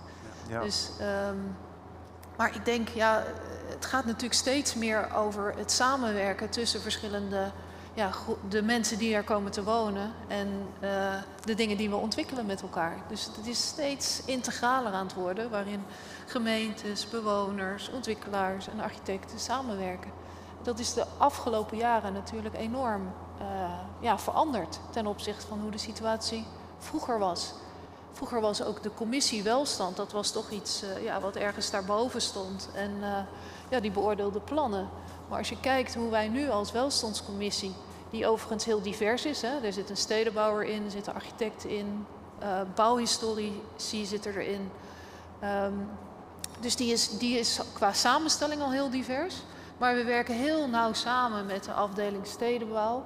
eh, die natuurlijk vertelt vanuit de stad welke gebiedsontwikkelingen er gaande zijn. Zodat we die objecten of bouwwerken of die voor een vergunning vragen, is dat we die ook kunnen beoordelen op een manier dat het niet alleen om het gebouw gaat, maar ook hoe het gebouw in zijn omgeving staat. Of het goede plinten heeft, goede programmering. Daar, daar zie je al bij dat we veel diverser kijken naar die bouwplannen. Eh, uiteindelijk moeten wij natuurlijk op de welstandscriteria beoordelen, die vastgelegd zijn in de welstandsnota. Maar die geven eigenlijk toch heel veel ruimte om vanuit zeg maar, dat verleden en het heden goed te kijken of het een heel passend project is. Ja. En je, dus je verwelkomt wel dit, eh, dit soort inzichten. Zeker, zeker. Je wacht Ja. nog op de eerste plannen die langskomen, maar, maar je bent er absoluut voor. Nou, we zijn zelf natuurlijk allemaal binnen die commissie ook bezig zeg maar, met die onderwerpen die we, waar we het hier over hebben. Dus wij proberen ook architecten zoveel mogelijk te stimuleren eh, met dan ja, hoe wij dat kunnen doen als welstandscommissie om, om daarin door te werken. En ja, ik denk met de nieuwe omgevingswet die eraan komt, dat we natuurlijk nog meer integraler gaan kijken naar, eh, naar de bouwplannen. Ja. Of eigenlijk naar gebieden in de stad. Ja. Ehm, Ja, ik zou denken, de gemeente kan eh, helpen door eh, een van die scholen die op de markt komen eh, ter beschikking te stellen. Precies. Om eens wat te roepen. ja. Dus de gemeente kan wel degelijk gewoon een beetje een, een handje helpen. Ja, Ja. om daar dan niet de hoofdprijs voor te vragen. Ja. Zeker. Ja. Maar er zijn wel diverse projecten, die zijn langsgekomen ook in de welstandscommissie, waarin scholen en groepen van mensen zeg maar, gezamenlijk zeg maar, bouwvergunning vragen om eh, die te transformeren. CPO-project volgens mij toch? Dit, dit- Onder andere dit- eh, CPO-projecten, maar ja, er zijn ook eh, Ja. wat andere voorbeelden. Maar er zijn ook voorbeelden dat het dan toch naar de hoogste bieder gaat. En je kan ook kijken wat zo'n project nou in de, op de lange termijn oplevert. In plaats van dat het in de eerste instantie alleen de eerste investering is waar je rekening mee houdt. Dat sociale kapitaal wat je daar sticht is, is uiteindelijk denk ik meer dan eh, de eerste prijs. Ja, dus in die zin zou de gemeente meer oog moeten hebben voor eh, eigenlijk de bewoners en wat die eh, nodig hebben in, in plaats van, ook al waar het gaat om, om het realiseren van bouwprojecten. Ja. Ja, Ik heb altijd wel wat reserve bij de sociale dimensie hiervan. Ja? Ja. Ja, Ja, de- ja, per saldo zijn al die communes van eh, de jaren 70 eh, Ja. eh, ook niet allemaal gelukt. Nee. Uiteindelijk ontstaat er een dynamiek in die groep die niet altijd heel positief eh, eh, is. nee, daarom zeggen we ook, je moet het eigenlijk zo beginnen dat je alleen maar losse woonunits maakt en dan dingen gaat toevoegen Ja. gedurende in de tijd. eh, als daar behoefte aan is. Want Ja. anders gaat het gewoon mis. nee, precies, dat dacht ik ook al toen Ja. ik zei sociaal experiment, toen moest ik daar ook meteen aan denken. Eh, Precies. sociaal experiment, daar komen we straks nog op terug eh, bij eh, Corine, denk ik, ook met de VVS. Hoe werkt het in, in groepen? Toch, maar, toch nog eventjes om een beetje de schaalstapjes eh, eh, in lijn te houden eh, met elkaar. Eh, eh, Tuin over zes laag, die, dat, is, dat is twee jaar geleden heb je het gepre- gepresenteerd. Je zegt het is nu eh, gerealiseerd. Be- Ja. be- eh, be- bevalt het? Bevalt het de bewoners? Je zag het haast in het plaatje al van nou, ze gaan gewoon door waar ze Ja. gebleven zijn. Maar eh, hebben ze er iets van Ja, in, die, gemerkt? in die zin bevalt dat natuurlijk. Ze hebben een, eh, een, een veel beter eh, huis wat niet van zijn plek is gegaan. En zo ervaren ze dat ook. Ja, en wat nog steeds dezelfde tuin heeft en dezelfde buren. En ik denk dat je niet moet onderschatten vanuit welke situatie zij begonnen, gewoon bouwkundig. Ik, ben, ik ben in een paar woningen geweest en ik kon daar niet alleen door het raam naar buiten kijken, maar ook door het kozijnhout. Ja. Ja. Dus de onderhoudsstaat was, was echt vrij bedroevend. En eh, eh, ja, dan doe je het al snel goed. Ja. En jullie hebben heel veel eh, aandacht gehad voor hoe het dan eruit ziet. Ja. Bereikt dat die bewoners ook? Zijn die daarbij betrokken? Vind- zijn die nou enthousiast over de gekozen oplossing uiteindelijk? Ja, daar zijn zij wel enthousiast over. Eh, maar ik ben altijd wat terughoudend als het gaat om hoe waarderen bewoners hoe het er nu uiteindelijk uitziet. Dat gaat toch vaak veel meer over praktische zaken als... Goh, nu kan ik het raam zo doen en ik kan het zo doen. En eh, elke kamer heeft een raam, wat fijn. Dat, dat zit veel meer op dat eh, niveau. En ja, dat het er nieuw uitziet, dat is natuurlijk op zich ook fijn. Maar dat, dat heeft nooit echt betrekking op, je zou kunnen zeggen, architectonische aspecten. Nee, nee. Nu hebben jullie uiteindelijk zijn je uitgekomen op die straat als hè, zo eigenlijk het blok en, en de relatie die dat met de straat heeft Ja. als, als, als belangrijkste uitgangspunt, eigenlijk als eenheid. Ja, daar zit de differentiatie eh, in, omdat eh, we vonden dat dat wel moest, ondanks het feit dat je dan iets beter ziet eh, wie er wel en niet meedoen. Maar een van de,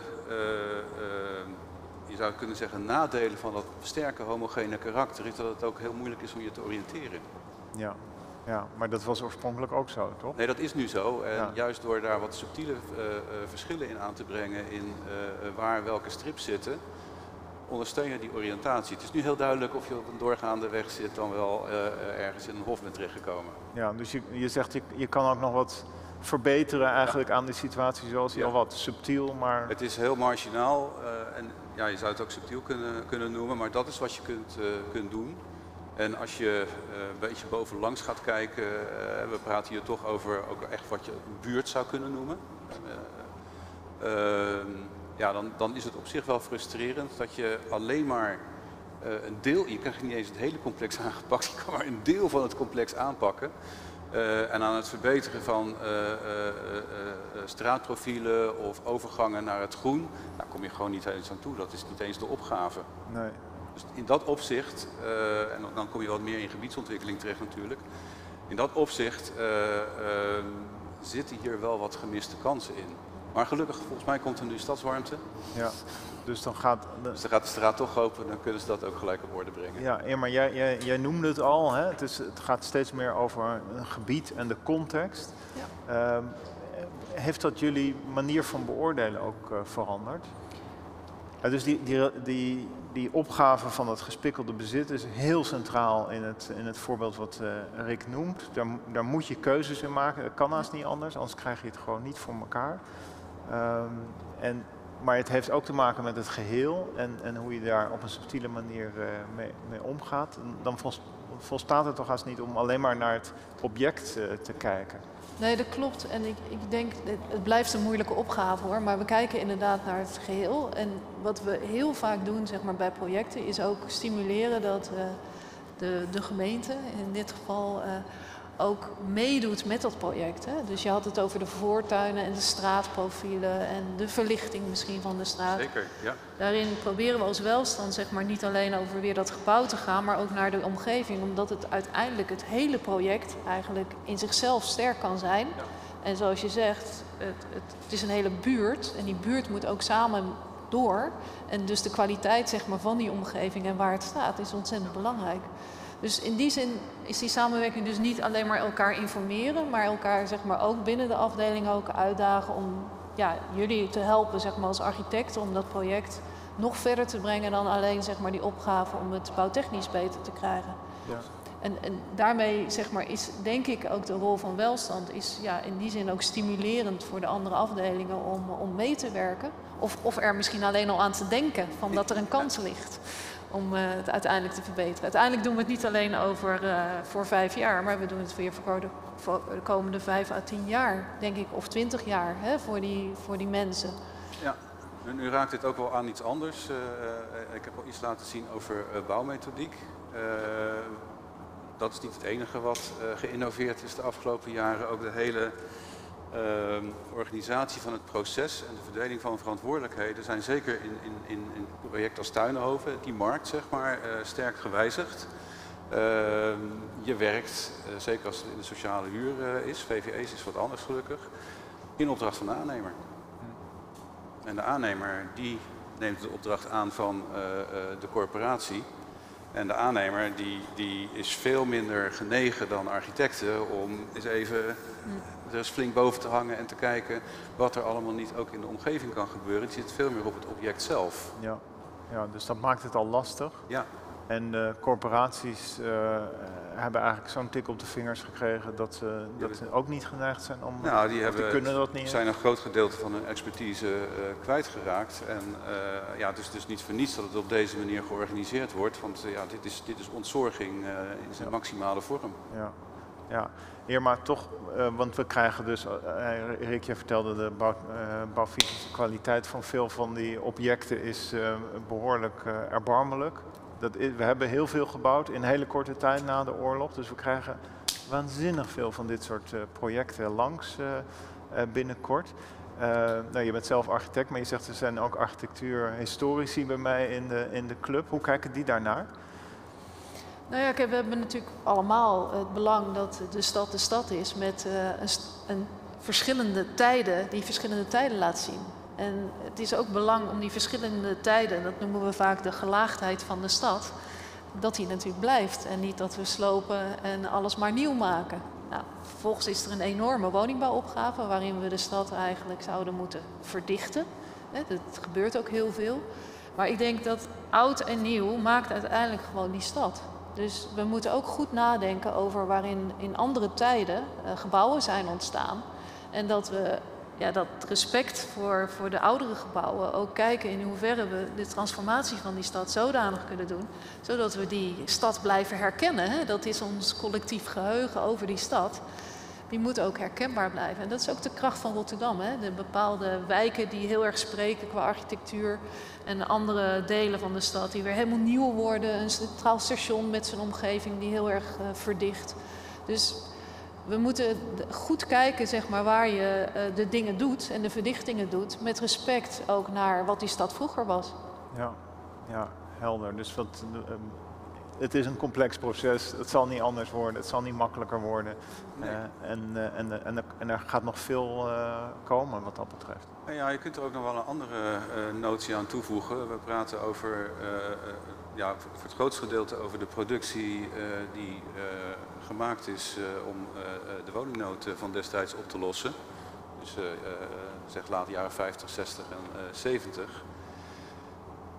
En het is een soort, soort, soort wezensvraag is dit, hè? want laat dat nou net de productie zijn waarin architecten wel een rol speelden, maar niet zozeer als ontwerper. En dat, dat zie je natuurlijk ook terug.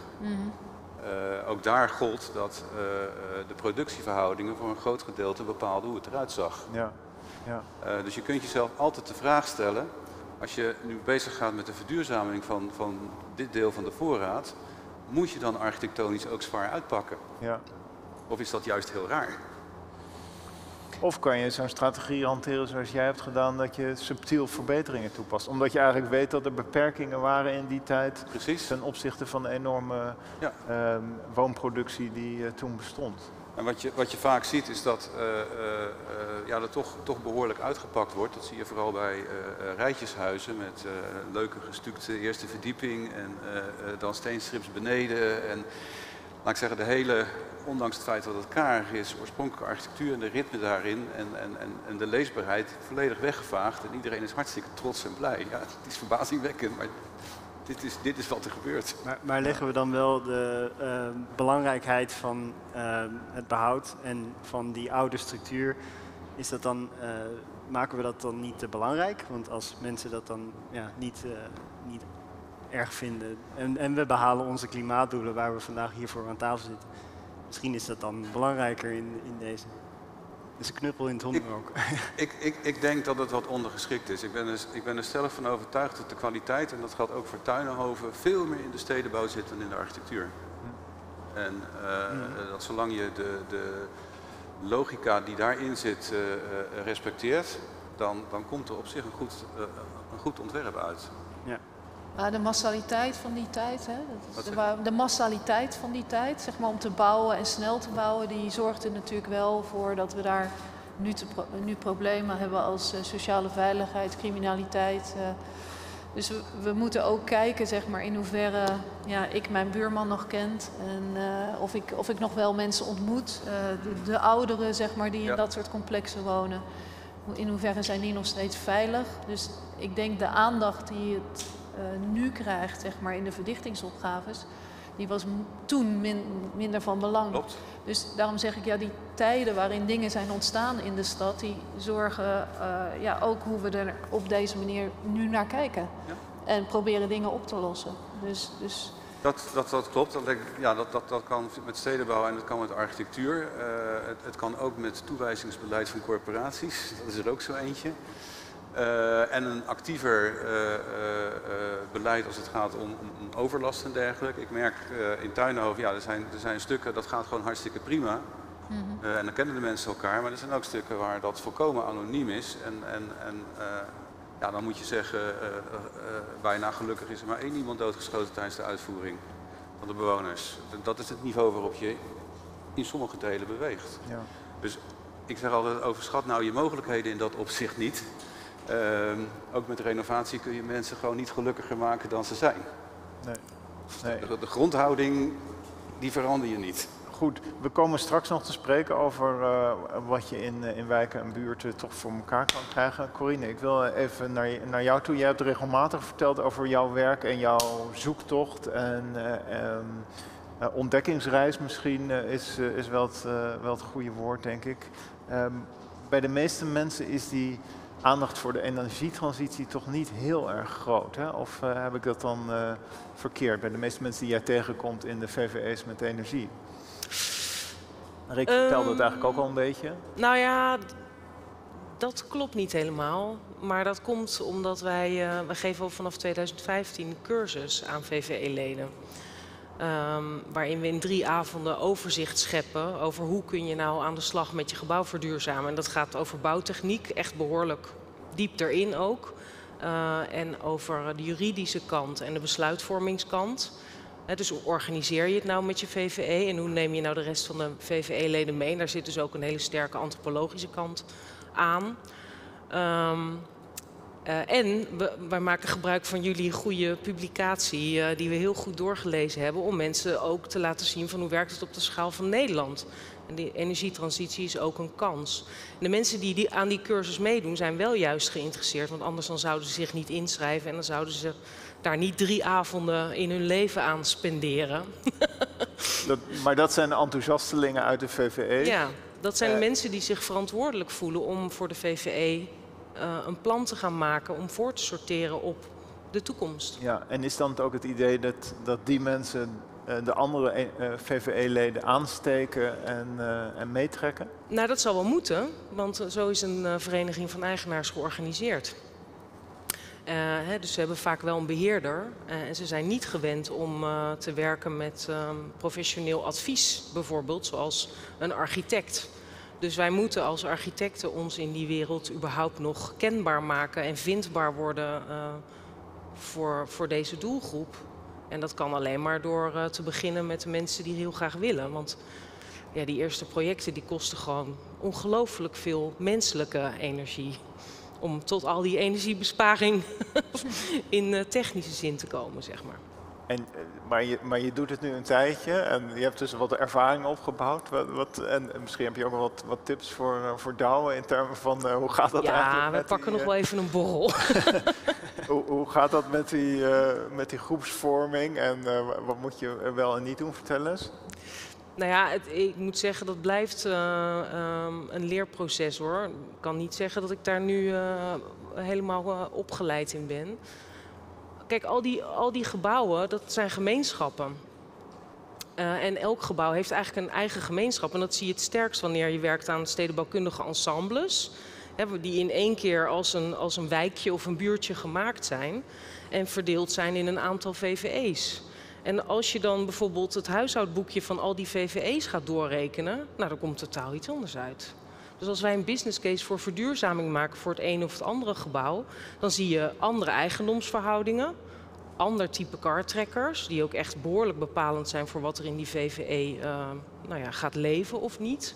Dat kunnen wij in elk geval niet in ons eentje. Ehm, en ook een andere historie van met het gebouw omgaan. En andere discipline, als het ware. En dat hangt ook weer sterk samen met het type beheerder wat ze hebben. Soms is die alleen maar administrateur en zitten er voldoende mensen in de VVE die kennis hebben van techniek bijvoorbeeld.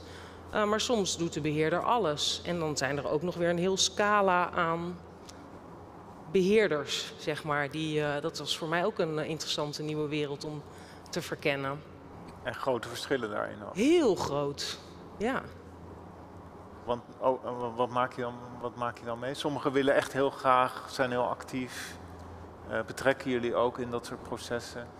Nou ja, zijn heel afhoudend? Of? Goede beheerders die hebben gewoon gezorgd dat die VVE organisatorisch en uh, financieel uh, op orde is. En dat er voldoende gespaard wordt voor het meerjarig onderhoud, dus instandhouding van het gebouw. Als ze dat hebben gedaan, dan, dan we hebben ook al inmiddels een cursus gegeven voor beheerders. Er zijn ook beheerders die zeggen van, ik krijg, hoe krijg ik die verduurzamingsopgave nou over het voetlicht? Ik ben er niet voor opgeleid, maar als ik dat niet over het voetlicht heb gebracht bij mijn verenigingen van eigenaars, heb ik mijn werk ook niet goed gedaan. Help mij.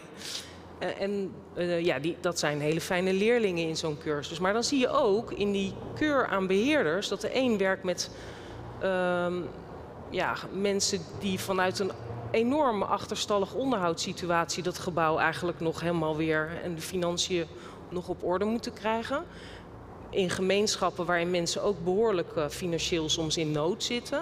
En een enorme zorg daar ook uh, naar uitgaat van die beheerder. En aan de andere kant beheerders die zeggen van ja, uh, ze willen nou de balkonhekken vervangen.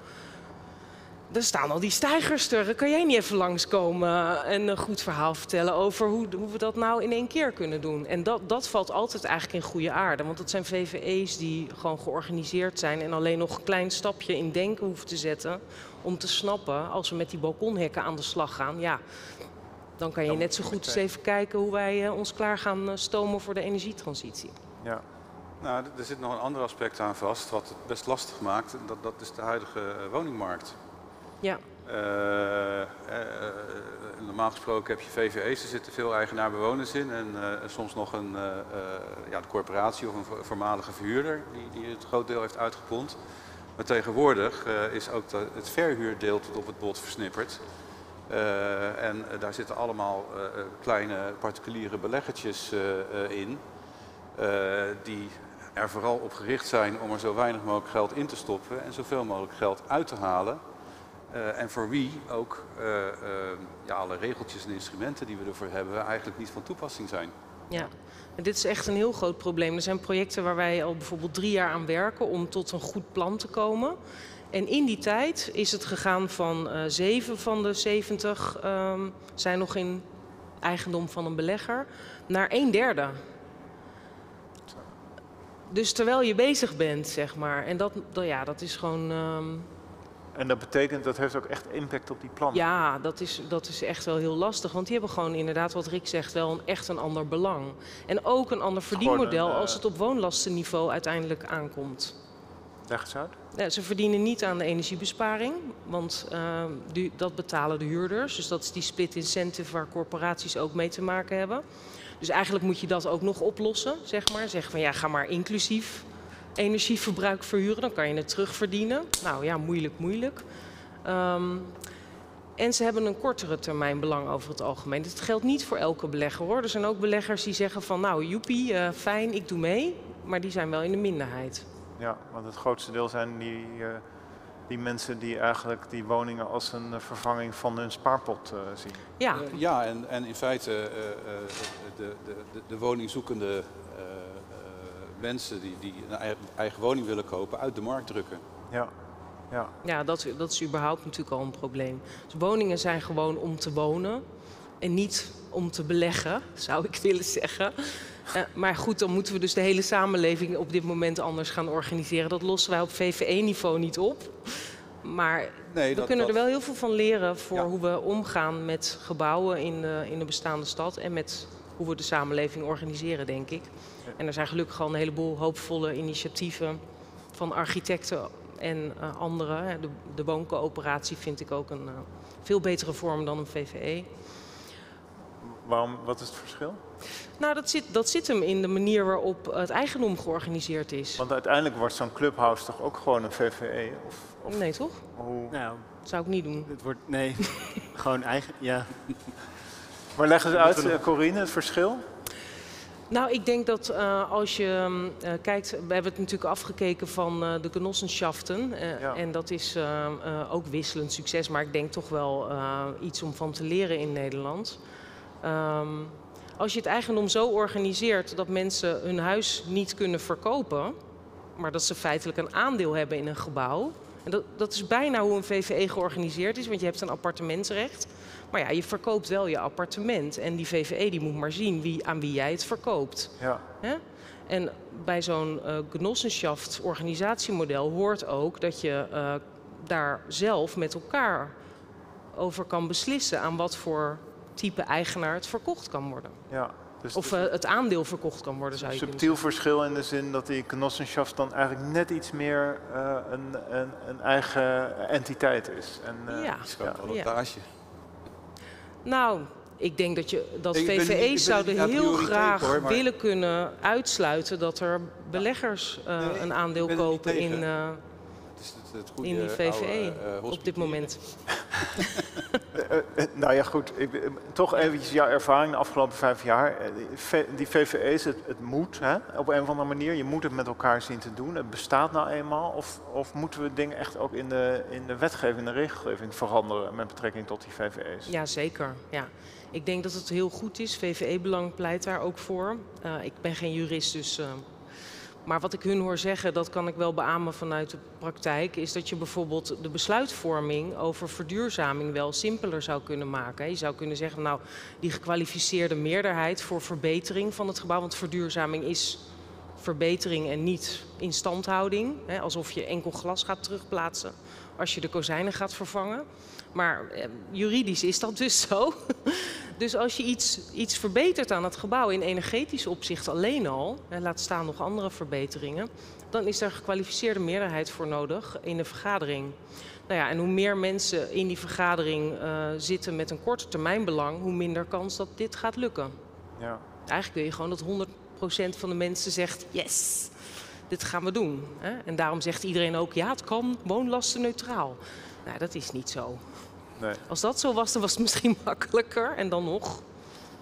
Ja, Ja, dat, dat is ook wel een, een, een, een, een, een lastige kreet, dat woonlasten neutraal. En daar, daar, daar ja. ja, speculeren eh, eh, overheden op, zowel landelijk als gemeentelijk. En aannemers. en aannemers. En, en het is gewoon niet waar. Eh, en het hoeft ook gewoon niet waar te zijn. Je krijgt immers veel meer kwaliteit. Eh, veel meer zekerheid over je toekomstige woonlasten en minder afhankelijkheid van prijsstijgingen eh, van, eh, van de energie.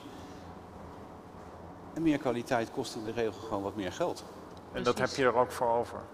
Ja, ehm, wat ik gemerkt heb, en dat, daar ben ik wel blij om. Ik ben hier aan begonnen als, als architect. Zo van, nou ja, ik zie, ik zie een kans om eh, in de gebouwde geving- omgeving iets te doen aan eigenaarschap in de energietransitie. Dat was eigenlijk mijn motivatie. Ehm, en ik dacht van, nou oké, dan kan het interessant zijn om te zien of je als architect ook een verschil kan maken als het gaat om verbetering van de bestaande stad. Ik was er wel bang voor dat mensen niet gevoelig zijn voor eh, nou ja, dat je het gebouw gewoon echt beter maakt. Dus dat je de relatie met de buitenruimte verbetert, maar ook bouwtechnische problemen oplost op een manier die de architectuur ehm, versterken in plaats van verzwakken. Nou, en die, die hele samenhang daarvan. En ik heb gemerkt dat ja, de meeste mensen die er zelf wonen, da- dat heel fijn vinden als dat samen kan gaan. En dus ook bereid zijn om daarvoor te betalen. Niet tot in het oneindige uiteraard. Maar wel om daar meer voor te betalen, want het is ook echt een verbetering. En mensen zeggen dan ook van nou, dan blijf ik hier wel wonen, bijvoorbeeld. Ja. Dat vind ik een heel goed teken.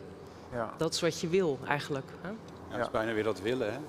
Ja, nou en, Ja. dat, Ja. en dat op een of andere manier loskrijgen. Maar interessant wat je vertelt, dus ook die, die, die onzichtbare krachten eigenlijk achter zo'n eh, gebouw. in. Maar ik ben toch wel benieuwd, eh, zie je dat nou eh, ook weer terug in, in je werk bij de, bij de welstand? Dat soort verschillen tussen, hè, dus een, een, gro- een groot blok ooit in één keer neergezet, maar één VVE is gezond en wil. En de volgende niet. Maar ja, dat zie je dan opeens eh, terugkomen in, eh, in, in, in hoe die... eh, Ja, ja, het vervelende van. het systeem is natuurlijk dat je gewoon, ja, een groep mensen kan gewoon natuurlijk een bouwvergunning aanvragen. Dus dan krijgen we een deel van een gebouw krijgen we een bouwvergunning voor. Ja, en die moeten we officieel beoordelen ja. of dat kan. Ja, dan moet ik zeggen dat we wel proberen om in overleg te gaan, bijvoorbeeld met de corporatie. Omdat ja, we toch denken, laten we proberen om er een eenheid van te houden. Maar in principe kan het zo zijn dat wij gewoon eh, officieel gewoon dat deel van het gebouw moeten beoordelen, wat voor ligt. Ja. En dus moeten goedkeuren dat eh, de gevel oranje wordt in plaats van eh, die groene kleur die het had. Ja, of nou iets ja, dergelijks. als het in de deur zat, dan viel het nog mee. Maar ja, soms zit het gewoon echt in één gebouw. Eh, eh, wij zijn ook actief in, eh, in Pendrecht, helemaal onderaan. Dat is niet echt heel goed, kan ik je verklappen. Dan heb je een portiek van, of een portiekflat van 30 woningen. Er zitten drie VVE's in. Ja. Voor twee van die drie zou het heel interessant zijn om goed te isoleren. Voor die derde, de kleinste, de middelste niet. Ja, de kopgevels hè, we Dus, zijn niet... dus, dus, dus hoe beoordeel je als, als welstand dan, dan zo'n verhaal? Ik durf eigenlijk niet een, een, een plan te maken waarvan ik denk van... nou ja, we hebben twee helften aan de uiteinden, zijn hartstikke goed, zien er mooi uit. Allemaal weer strak eh, eh, in de lak, zeg maar. En nou ja, dat middenstuk, sorry. eh Ja, Pendrecht is volgens mij beschermd stadsgezicht. Dus dat zou nog iets meer. was eh, helemaal Zuid beschermd? Ja, dat zou ik niet helemaal uit mijn hoofd weten. Maar op het moment Nee, dan heb je wel meer methodes om eh, nou ja, ervoor te Nee, zorgen dat- dat, dat het in ieder geval een eenheid blijft. Maar we zijn natuurlijk altijd wel beperkt in eh, ja, hoe de criteria zijn omschreven van een bepaald gebied. Ja. En die moeten we toepassen en op die manier beoordelen. Eh, maar het is ook zo dat ja, in het grotere belang er natuurlijk altijd gesprekken op de achtergrond gevoerd kunnen worden, waardoor eh, ja, Maar we als toch het daarom gaat- om het belang zeg maar, van dat stuk stad toch gewoon goed. eh, maar het, het, het is wel een probleem, denk ik. Die Als het daarom gaat, dan zou je iets kunnen doen ook in die regelgeving. Hè, wat Ja. jij net zei voor VVE's. En in zo'n geval, dat zie je inderdaad heel vaak, dat uitgepond is per portiek. Maar dat het één grote bouwkundige eenheid Ja. is. En onze, een van onze opdrachtgevers, waar jij ook wel eens voor werkt, Stichting VVE 010, die is al een tijdje bezig om te kijken hoe kunnen we nou die, hè, die eigenlijk verkeerd uitgeponden VVE's samenvoegen, zodat het weer klopt met de bouwkundige eenheid. Nou, dat is heel lastig in de praktijk. En heeft natuurlijk ook te maken met al die verschillende huishoudboekjes. Maar het heeft ook te maken met de juridische kant van het verhaal. Om bijvoorbeeld iets, hè, een koepel VVE te maken... waarin je toch wat makkelijker om kan gaan met al die verschillen... En, maar wel tegelijkertijd een verduurzamingsplan kan maken. Ja.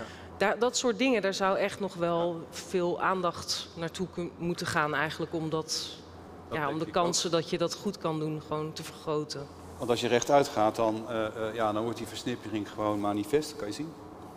Ja. Ja, precies. Ja. Dus we Ja. hebben verandering nodig, ook in de regelgeving. Want dit, dit gaat anders gewoon niet snel genoeg. Eh, Nou dat, maar ehm, als het gaat om ook wat jij zegt, eh, van de verbetering ook op stedenbouwkundig niveau, daar ligt een enorme kans. En je ziet nu dat de gemeente moet gaan toebewegen naar die wijk aanpakken, hè, nu de warmtetransitievisie klaar is. Eh, daar zijn ze ook al mee bezig. Nou, dat is volgens mij is die energietransitie ook een enorme kans om die hele buurten en wijken te verbeteren. En te zorgen dat mensen daar met elkaar ook in staat worden om te profiteren van de energietransitie. Niet alleen als het gaat om verbetering op gebouwniveau, maar ook als het gaat om verdienen aan die energietransitie. In de zin dat ook hè, die energievoorziening die nodig is om te bufferen, bijvoorbeeld, eh, hè, om energie te bufferen, korte en lange termijn, om die op de juiste schaal in te bedden eh, in de omgeving. En dan moet de omgeving overhoop. Dus nou ja, precies wat jij zegt, dat is dan ook weer een kans om de buitenruimte te verbeteren. Minder parkeerplaatsen, omdat we auto kunnen delen. Eigenlijk als je het zo integraal mogelijk zou mogen benaderen, met z'n allen zeg maar.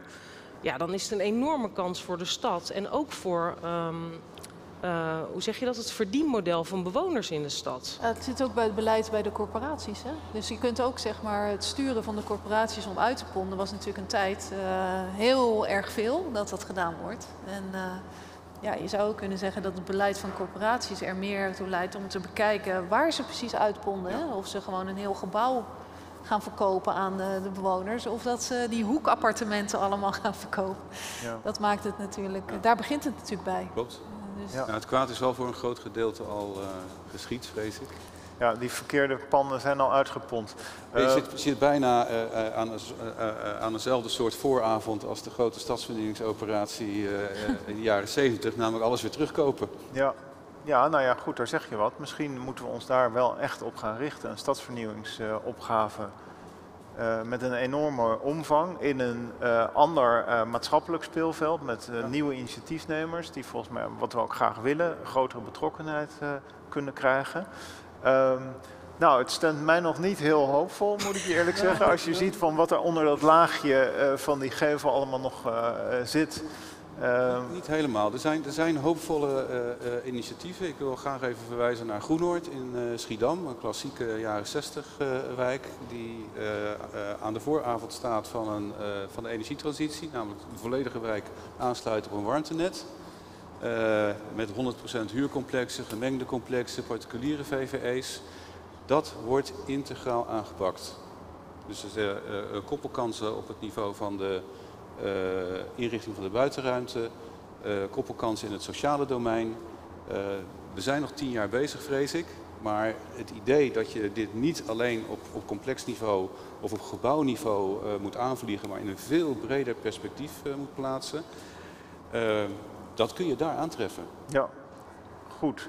Mooi voorbeeld. Eh, we krijgen straks ook nog een eh, mooi voorbeeld eh, op tafel, ook uit, eh, eh, uit het Rotterdamse. Ehm, maar voor nu, eh, eh, Douwe, eh, Rick, Corine, Irma, dank. Dank voor jullie aanwezigheid. Wij gaan hier even een eh, kwartiertje pauze houden en een beetje opwarmen. Eh, en dan zijn we om, eh, om drie uur eh, bij jullie terug. Ja, die ledlampen geven niet zoveel warmte, hè?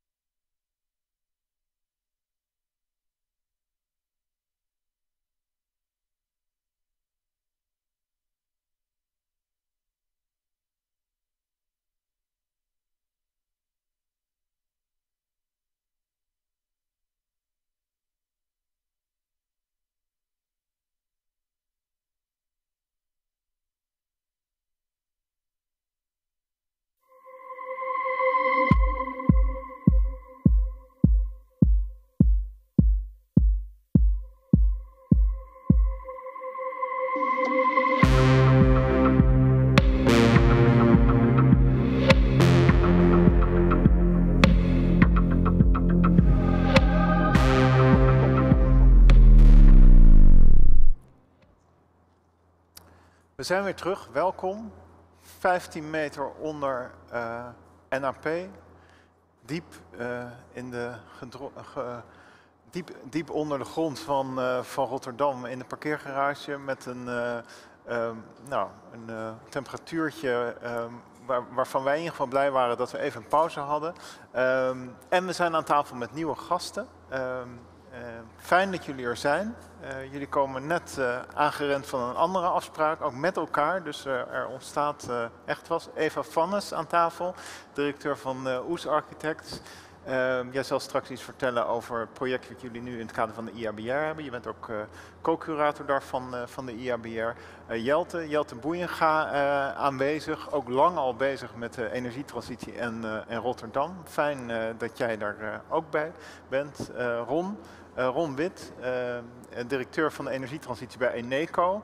Heel fijn dat, uh, dat, dat je aanwezig kan zijn vandaag. vorige week hadden jullie een, een ambitieus plan gelanceerd waar jij de auteur van bent. Dus ik ben benieuwd um, wat je daarover kan vertellen. En ook aan tafel Arno, Arno Bonte, wethouder van Rotterdam. Fijn dat het lukte om allemaal hier bij elkaar op deze bijzondere plek te zijn. Um, de chat uh, staat nog open. Er uh, gebeurt nog niet heel veel. We hadden hier in de zaal ook uh, ruimte voor uitroeptekens en vraagtekens. Um, die wil ik graag ook toestaan. Kijk, het publiek groeit wat aan, dus wie weet komen die nog. als u een vraag of opmerking heeft, hou het bord omhoog.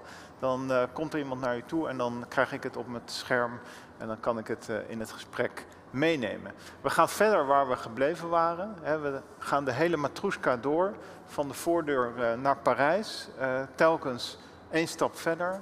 Eh, hoe brengen die verschillende schalen elkaar in beweging en wat is daarvoor nodig? We waren eigenlijk een beetje bij de wijk beland, dus we gaan nu ook van wijk naar stad, naar regio, naar Nederland. En uh, in het laatste deel van het programma, uh, na de tafelwissel, gaan we dan nog even kijken in de rest van Europa wat daar speelt. En, uh, en hoe dat allemaal uiteindelijk optelt tot onze mondiale ambitie. Want daar is het natuurlijk allemaal om te doen. Um, hoe werkt dat eigenlijk? Maar we hebben eigenlijk ook wel gezien tot nu toe in het gesprek hoeveel verschillende aspecten allemaal meespelen. Sociaal, financieel architectonisch. Uh, het zijn eigenlijk allemaal aspecten van diezelfde transitie. En eigenlijk is tot nu toe de conclusie, uh, je moet zoveel mogelijk van die transities samen nemen. En dan ontstaat er zo'n grote druk dat er iets bijzonders kan ontstaan. Um, dat voelt paradoxaal aan, maar uh, het blijkt voorlopig zo te zijn. Dus ik ben benieuwd of jullie dat kunnen bevestigen. Um, en om uh, daarin het uh, gesprek te starten uh, wil, ik, wil ik Eva, Eva Vannes, graag vragen om als eerste een, een, korte presentatie te geven over het werk wat op dit moment nog te zien is aan de andere kant van de stad. ook op een hele bijzondere ja. locatie als onderdeel van de IABR ja, ik ga het dus hebben over de lokale energieactieplan die te zien is in de tentoonstelling Reclaiming the Commons tot, uh, 11, tot en met 11 juli in het Keilepand in M4H-gebied. Um, ik denk, die werkt toch niet. De verbindingen zijn niet uh, optimaal hier in de betonnen bunker. Nee? Ja, ja oké, okay, goed. Um, en wij in het begin, als wij die opdracht uh, kregen om te werken aan de energietransitie als hefboom voor, een, um, voor sociaal-maatschappelijke meerwaarde, is natuurlijk de vraag waarom moeten wij überhaupt door die energietransitie doorheen? En wat zijn de, wat zijn de verbindingen van de schalen, van de individuele schaal, um, de planetaire schaal, waar, allemaal, wij, wij nu al die, die, die, die rampen gaan zien uh, ontbreken. En de wijkschaal waar eigenlijk alles zichtbaar wordt. Dus de wijk is eigenlijk de schaal van die hefboom. Daar wordt het alles zichtbaar en daar kunnen wij dus aangrijpen om het uh, beter te doen. En om die eh, vraag van hoe brengen wij CO2 omlaag en tegelijkertijd hoe maken wij de wijk een betere schaal, een betere, betere leefbare omgeving. Um, daar hebben wij een instrumentarium voor bedacht. Um, daar spelen drie dingen. Dus er is um, die um, energietransitie, de klimaatmitigatie. Dan is de, de groen-blauwe infrastructuur. Dat heeft te maken met klimaatadaptatie. En dat bij elkaar creëert nieuwe assets. Een soort van, en daar hebben wij het over die nieuwe commons. En hoe ga je dat nu beheren? Daar hebben wij een instrumentarium van uh, zogenaamde governance tools voor bedacht. Um, dus alle systemen met elkaar, dat is dus natuurlijk hier heel klein, maar dat is heel goed te zien in de tentoonstelling zelf, um, moeten samen in, in één holistisch geheel worden geïntegreerd. Oh. Ik moet het hier. Ja. Oh, nee. Um, en daar is dan ook de vraag, hoe kunnen wij die energietransitie, dat is natuurlijk, um, heeft te maken met uh, PV-panelen bijvoorbeeld, maar ook met warmte-koude opslag in de wijk, met aquathermie, met, um, met, warm, met wateropslag, regenwateropslag, um, bossen die de biodiversiteit vorderen. Hoe krijgen wij dat voor elkaar en wat zijn de groepen die we kunnen vormen, zoals een projectgroep of een coöperatieve aanpak met een ESCO. En wat zijn de rollen die we, die mensen in de wijk kunnen spelen en wat zijn de financieringsmogelijkheden. Vervolgens hebben wij um, vier case studies uitgewerkt, waarvan ik nu eentje heel kort laat zien. Vier case studies in de wijk, Bospolde Tussendijken, die uh, samen een dwarsdoorsnede vormen door de wijk. Eentje daarvan is uh, Schie Woningblok um, aan de Delfshavense Schie, uh, wat ongeveer 270 woningen beinhoudt. Waar we hebben gekeken hoe kun je deze blok in zijn geheel um, ehm, 100% van het gas af laten komen. Hoe kun je daar WKO's, warmte-koude opslagen en aquathermie zodanig toepassen dat je daarmee dat hele blok kunt verwarmen en hoe kun je daar een um, microgrid van maken met een energiehub om dat ook uh, lokaal te managen. Samen met energieopbrengst van PV-panelen en samen met klimaatadaptieve maatregelen zoals die uh, minibos, zoals uh, regenwateropslag. Om dus al dat water dat in de winter normaal valt, om dat mee te nemen, zodat je de hele omgeving tot 50% kunt vergroenen. Um, wij hebben dan ook uitgerekend wat dat oplevert um, voor elke case study, maar ook voor de wijk in zijn geheel en wat het zou kosten. Dat, is dus, dus, tot aan het uh, stippeltje achter de komma uitgerekend. Om dus te kijken, als je al die kleine initiatieven uh, bij elkaar brengt, kun je, als je de wijk als een case ziet, hoe competitief kun je bezig zijn? Wat kun je leveren? Hoeveel kun je de CO2-emissies omlaag brengen? En de uitkomst is dat je dus die CO2-emissies die alleen van die uh, huishoudelijke energievraag komen, dat is dus alleen maar 18% van de totale emissies. En dat kun je 60% omlaag brengen. En je kunt de energie uh, kun je ongeveer uh, met de helft verminderen. Als je energievraag kun je verminderen. Als je alle um, woning gebouwen uh, verbeterd uh, van label D of uh, F, waar wat heel veel gebouwen zijn in Bospolder Tussendijken, naar label C. En je, kunt, en je hebt dan heel veel, je hebt dus um, baten die, die kwalitatief zijn en baten die kwantitatief zijn. En kwalitatief, dat is natuurlijk een heel interessant vraagstuk, want kwantitatief, daar hebben wij het dus altijd over. Um, Reclaiming the Commons gaat dus daarover al die energie, die zonne-energie, die windenergie, dat water en de sociale draagkracht die in de wijk aanwezig is, wat ook een soort van energie is, dat valt als het ware in de wijk. Dat kan door investeringen worden ontsloten. Um, vervolgens heb je kwantitatieve meerwaarde, zoals uh, ik dat al heb beschreven. En vervolgens Ja, oké.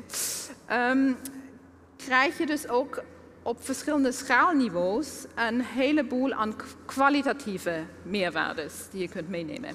En dat heeft dan te maken als die energietransitie dus um, in plaats van buiten de wijk in de wijk zelf plaatsvindt, dan, heb, dan kun je banen creëren, dan heb je betere mentale en fysieke gezondheid in de wijk. Dan, dan uh, draag je bij aan biodiversiteit op de wijkschaal. En dan heb je dus door die investering die gebeurt, heb je een heleboel aan uh, meerwaardes die je kunt meenemen. dat is dus hier in die, misschien gaan we in die discussie nog uh, verder op in. Uh, dat is dus te zien in de tentoonstelling zelf, waar wij dus ook een instrumentarium hebben, hebben uitgelicht op een grote tafel. Want um, die communicatie met de wijk, dus met de bewoners, dus wat ik nu uh, vertel, dat is ook zeg maar met de bewoners samen bedacht. Um, daar heb je dus een instrumentarium voor nodig. Um, en die case studies die we hebben bedacht, dat zijn, dat is, zo gaat de toekomst niet per se uitzien, maar dat is een soort van speculatieve case studie. Zo kan het uitzien, maar uiteindelijk moet het worden doorgewerkt met de bewoners, met de overheid, met iedereen die daar een rol speelt in de wijk. Dankjewel uh, voor deze korte toelichting. Ga, uh, zo, zolang het nog kan, uh, zeker de tentoonstelling bekijken. Jij hebt hem vorige week persoonlijk ook laten zien. Het was erg leuk om, om te zien. Jullie zijn ook al heel lang bezig eigenlijk, mm. in verschillende stappen in, in Bospolder Tussendijken. je woont er zelf ook, geloof ik. Hè? Dus, ja, net aan de brug. Zeg maar. ja, ja, net aan de rand. Ehm, dus je, je, ziet ook wat er gebeurt. Je beschreef toen ook van Bospolder Tussendijken is, is een van de armste wijken uh, van Nederland. En dat stigma is eigenlijk helemaal niet terecht als het gaat over die, uh, over die transformatiemogelijkheden van die uh, wijk. Vertel daar eens wat over. Want... Um, in, in Bospollen Tussendijken zijn heel veel initiatieven van bewoners die dus gaan over energie, bijvoorbeeld zonnepanelen verleggen, die dus gaan over culturele uitbreiding, over zorg, over, over um, huiswerkbegeleiding. Dus heel veel dingen die de wijk, zeg maar, die de wijk leefbaar maken, maar die ook de wijk resilienter maken. En, da, en wij hebben dus een onderzoek gedaan in de wijk zelf. Um, en mensen zien de energietransitie nog als iets wat, zeg maar, wat van de overheid van boven komt. Uh, mensen begrijpen zelfs dat CO2, waarom moeten wij van, van CO2 af? Is dat een soort van uh, verhaal die iemand vertelt? Of waarom moet dat überhaupt? Maar als we dan luisteren naar mensen en begrijpen waarom, uh, waar, waar, waar, zit, waar, zitten de angsten en waar zitten de mogelijkheden. En als wij gaan communiceren dat er bijvoorbeeld in Groningen aardbevingen zijn en um, dat andere mensen daar slachtoffer van zijn, Um, en dat het ook bijvoorbeeld heel makkelijk is met, zonder met elektriciteit te gaan koken. Dus als mensen dat ook kunnen beleven, de verandering. En als we dat ook zodanig verbeelden, dat we zien dat eigenlijk die, die, die stap naar een um, gasvrije wijk, dat die zo leuk is, dat die ook uh, mooi is om te doen, zelfs als we geen probleem zouden hebben. Dat was dus een van de vaststellingen. Dus zelfs, zelfs als we niet van het gas af zouden moeten, zou dat leuk zijn om te doen. Um, en aan de andere kant hebben mensen natuurlijk heel veel problemen, zoals schimmel, wateroverlast, tocht. Uh, ze wonen in heel slechte gebouw, want het is ook niet comfortabel in een gebouw te wonen dat de energielabel uh, G heeft, bijvoorbeeld. En, maar da dat moet, zou dus moeten worden meegenomen in die energietransitie. En dan zouden mensen dus heel graag bereid zijn om mee te doen. Ja, dus je hebt het directe gesprek nodig. Ja. Maar het is niet zo dat uh, omdat mensen arm zijn, ze helemaal niet bezig zijn nee, met hun toekomst. Juist, juist. Dat is eigenlijk net het tegendeel. Ze maken zich daar heel veel zorgen over. Um, en, en, ze willen heel graag meewerken aan een gezamenlijke doel, uh, uh, aan een beter planeet. Dat wil dus eigenlijk iedereen. Dat is dus een vaststelling. Als mensen kunnen alleen willen wat ze weten, dus die communicatie is een hele belangrijke uh, stap hierin.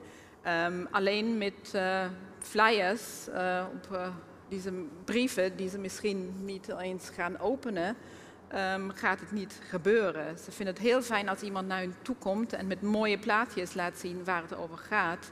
Um, en misschien ook fysiek gaat verbeelden waar, hoe zo'n toekomst uit kan zien. Want er zijn veranderingen, het is altijd moeilijk om te veranderen. En als die verandering uh, mooier is dan wat je nu hebt, dan zou het misschien toch willen overwegen. Ja.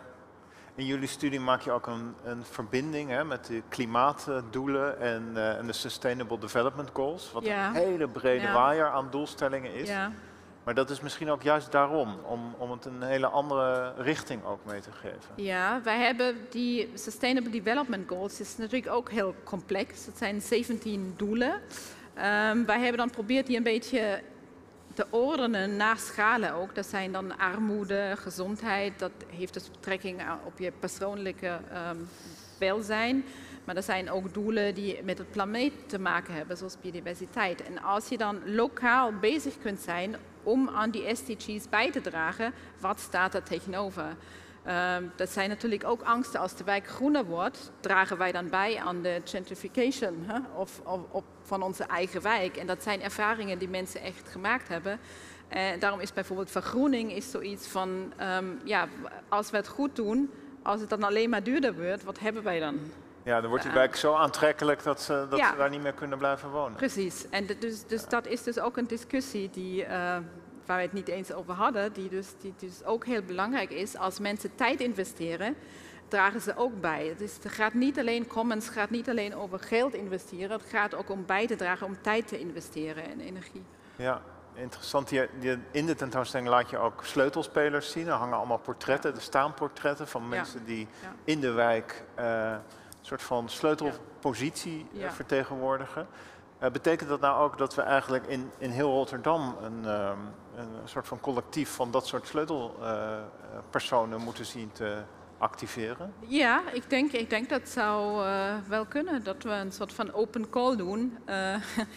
wie heeft er zin om zich te engageren en uh, er mee te doen en een rol te spelen, welke rol dan ook. Uh, of het een culturele rol is, uh, dat zijn natuurlijk ook stedenbouwkundigen en architecten, maar ook mensen, gewoon bewoners die processen willen aanzwengelen en die willen meehelpen.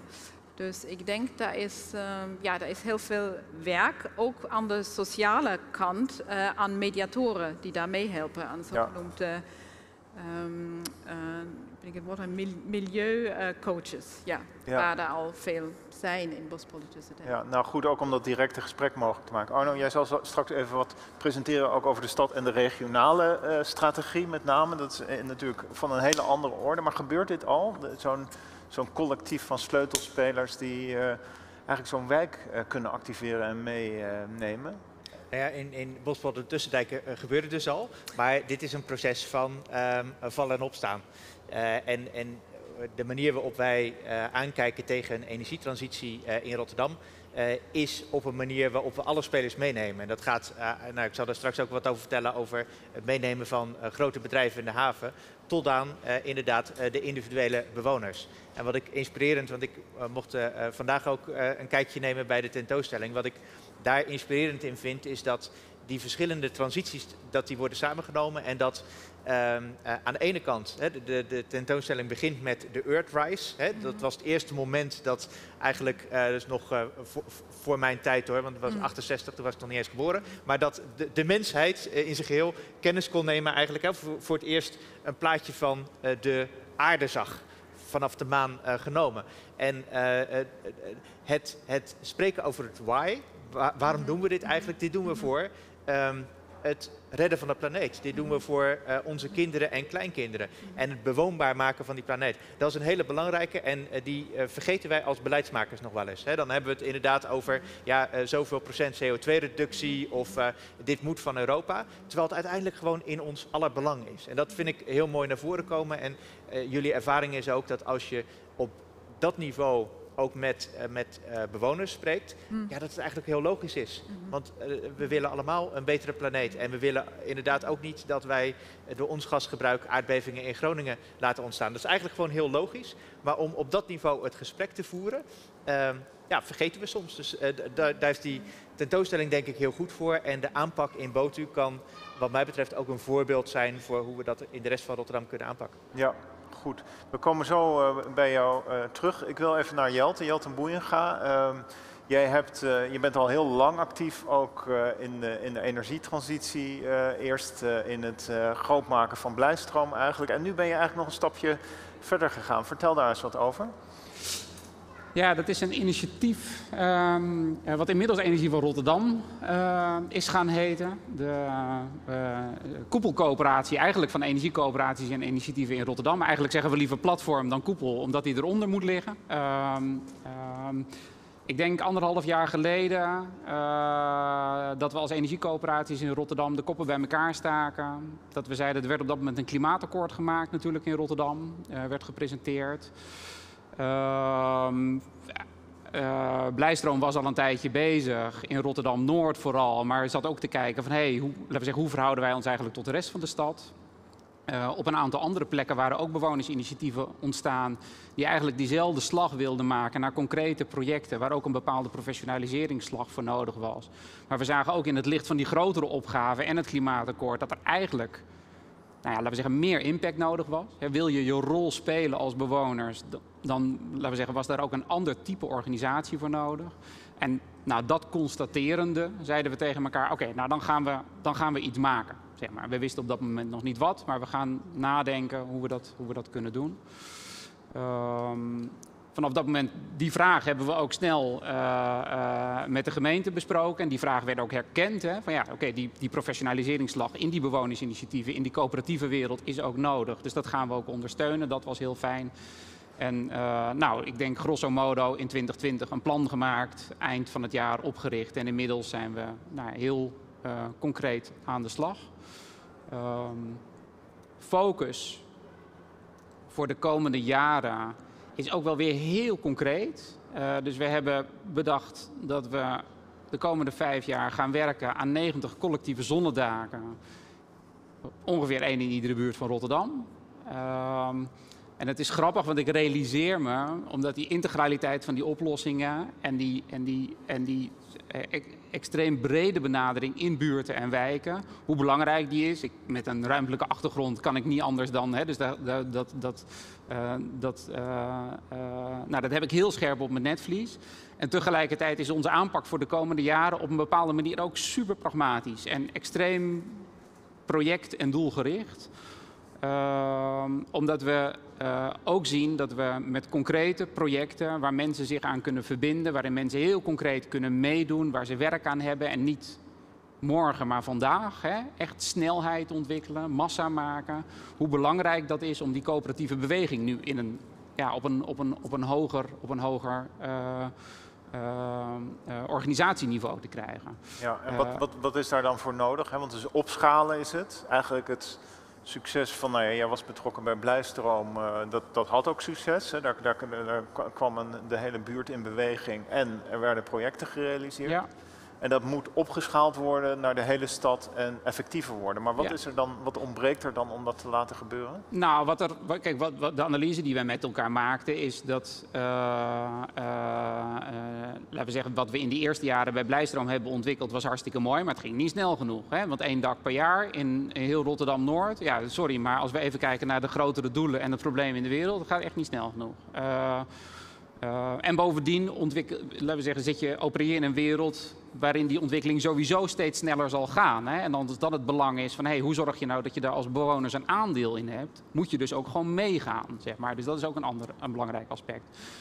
Um, en dat vraagt um, twee dingen, denk ik. Aan de ene kant dus echt een, een uh, uh, geprofessionaliseerde organisatie met gewoon professionals in dienst die uh, behoorlijk bedrijfsmatig ook uh, aan, de, aan, de, aan, de, aan de slag kunnen. En aan de andere kant hoe je dat zo organiseert dat je voeding en je binding blijft in buurten en wijken en dat de sturing van daaruit ook plaatsvindt. Zeg maar zeggen. En, dat is, en die combinatie is zo cruciaal. En dat is denk ik ook waar uiteindelijk, nou ja, laten we zeggen, die, de essentie van zo'n energiecoöperatie. Hè, dat is een, een, eigenlijk een vereniging en een onderneming in één. Democratisch georganiseerd. Maar je zou ook kunnen zeggen een bedrijf waarbij de eigenaren van het bedrijf ook zelf de klanten zijn. Hè. Dat is de essentie van zo'n coöperatie. Dus het belang van die klant is ook altijd het belang van die eigenaar. Dus die organisatie, democratisch gelegitimeerd door haar leden, zal altijd doen wat die leden willen. En dat geldt ook voor Energie van Rotterdam. Dus onze leden zijn niet alleen Blijstroom, maar ook de Delfshaven Energiecoöperatie, waar Eva super intensief heeft mee samengewerkt. Uh, Alex Energie in Alexander, uh, Energiecoöperatie Rozenburg in Rozenburg. Nou ja, zo. En uh, nou ja, dat is het mandaat van waaruit we werken. Ja, dus dat je, is bent, je bent eigenlijk ook gewoon energiebedrijf aan het worden daarmee. Ja. je zit met Eneco aan tafel. ja.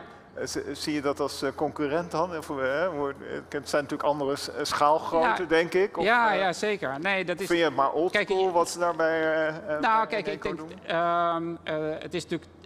Ik vind het super interessant. Ik, zag uit naar dit gesprek, zullen we zeggen. Omdat het, wat ik las met heel veel plezier, het, het, het, het persbericht van de ambitie. En dat is natuurlijk, nou, ik weet niet of het getimed is, maar een paar, een paar weken na de, na de rechtszaak met Shell is dat ook een contrast, zullen we zeggen. En tegelijkertijd is er nog een ander contrast. En dat is natuurlijk het aandeelhouderschap van Eneco.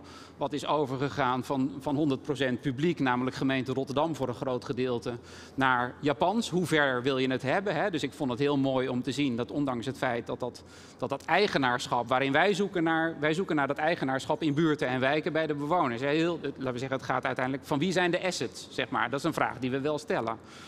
Ehm, ben ik heel blij om te zien dat in het maatschappelijke speelveld ook een bedrijf als Eneco, waar de eigenaar aan het andere eind van de wereld zit, wel degelijk eh, eh, eh, die, eh, nou ja, die, die, die, die ambitie zo expliciet en scherp formuleert. Ja, dus ambitie en doelstellingen. Eh, Ron, eh, eh, kan, je, kan je in een notendop wat vertellen over dat, eh, over dat plan waar jij eh, mede auteur van bent? Ja, ehm, nou, ik ben blij dat je dat zegt. Ehm, kijk, we hebben er, het is niet van de laatste twee weken natuurlijk. Hè. Het is ook niet alleen maar een ambitie. Het is, we hebben er negen maanden aan gewerkt. Eh, want in tegenstelling tot de meeste eh, ambities eh, hebben we er ook een hele roadmap onder liggen. Een heel diepgaand, doorgerekend plan, ook gevalideerd in, door, door de Boston Consulting Group. Ehm, en we hebben het ook intern alle investeringsbeslissingen tegen het licht gehouden van wat betekent dit nou eigenlijk. Hè? Dus, dus het is niet eventjes eh, voor de bühne van eh, Nee, we gaan nee, dit nee. doen, maar het moet, moet wel serieus zijn. En hoe zijn we daar nou toe gekomen? Hè? Want waarom 2035? Ben je nou gekke Henkie of eh, waarom is dat eigenlijk nodig? En eh, wij hebben eigenlijk gezegd van nou, als je kijkt naar de, naar de klimaatverandering, naar, de, naar de, wat er gebeurt, aan de opwarming van de aarde, dan zie je dat, dat die anderhalve graad, hè, die we in, in Parijs eigenlijk hebben afgesproken, want alleen bij anderhalve graad kan je ernstige klimaatverandering voorkomen. Dat werd ook al gezegd door, door, door mijn buurman.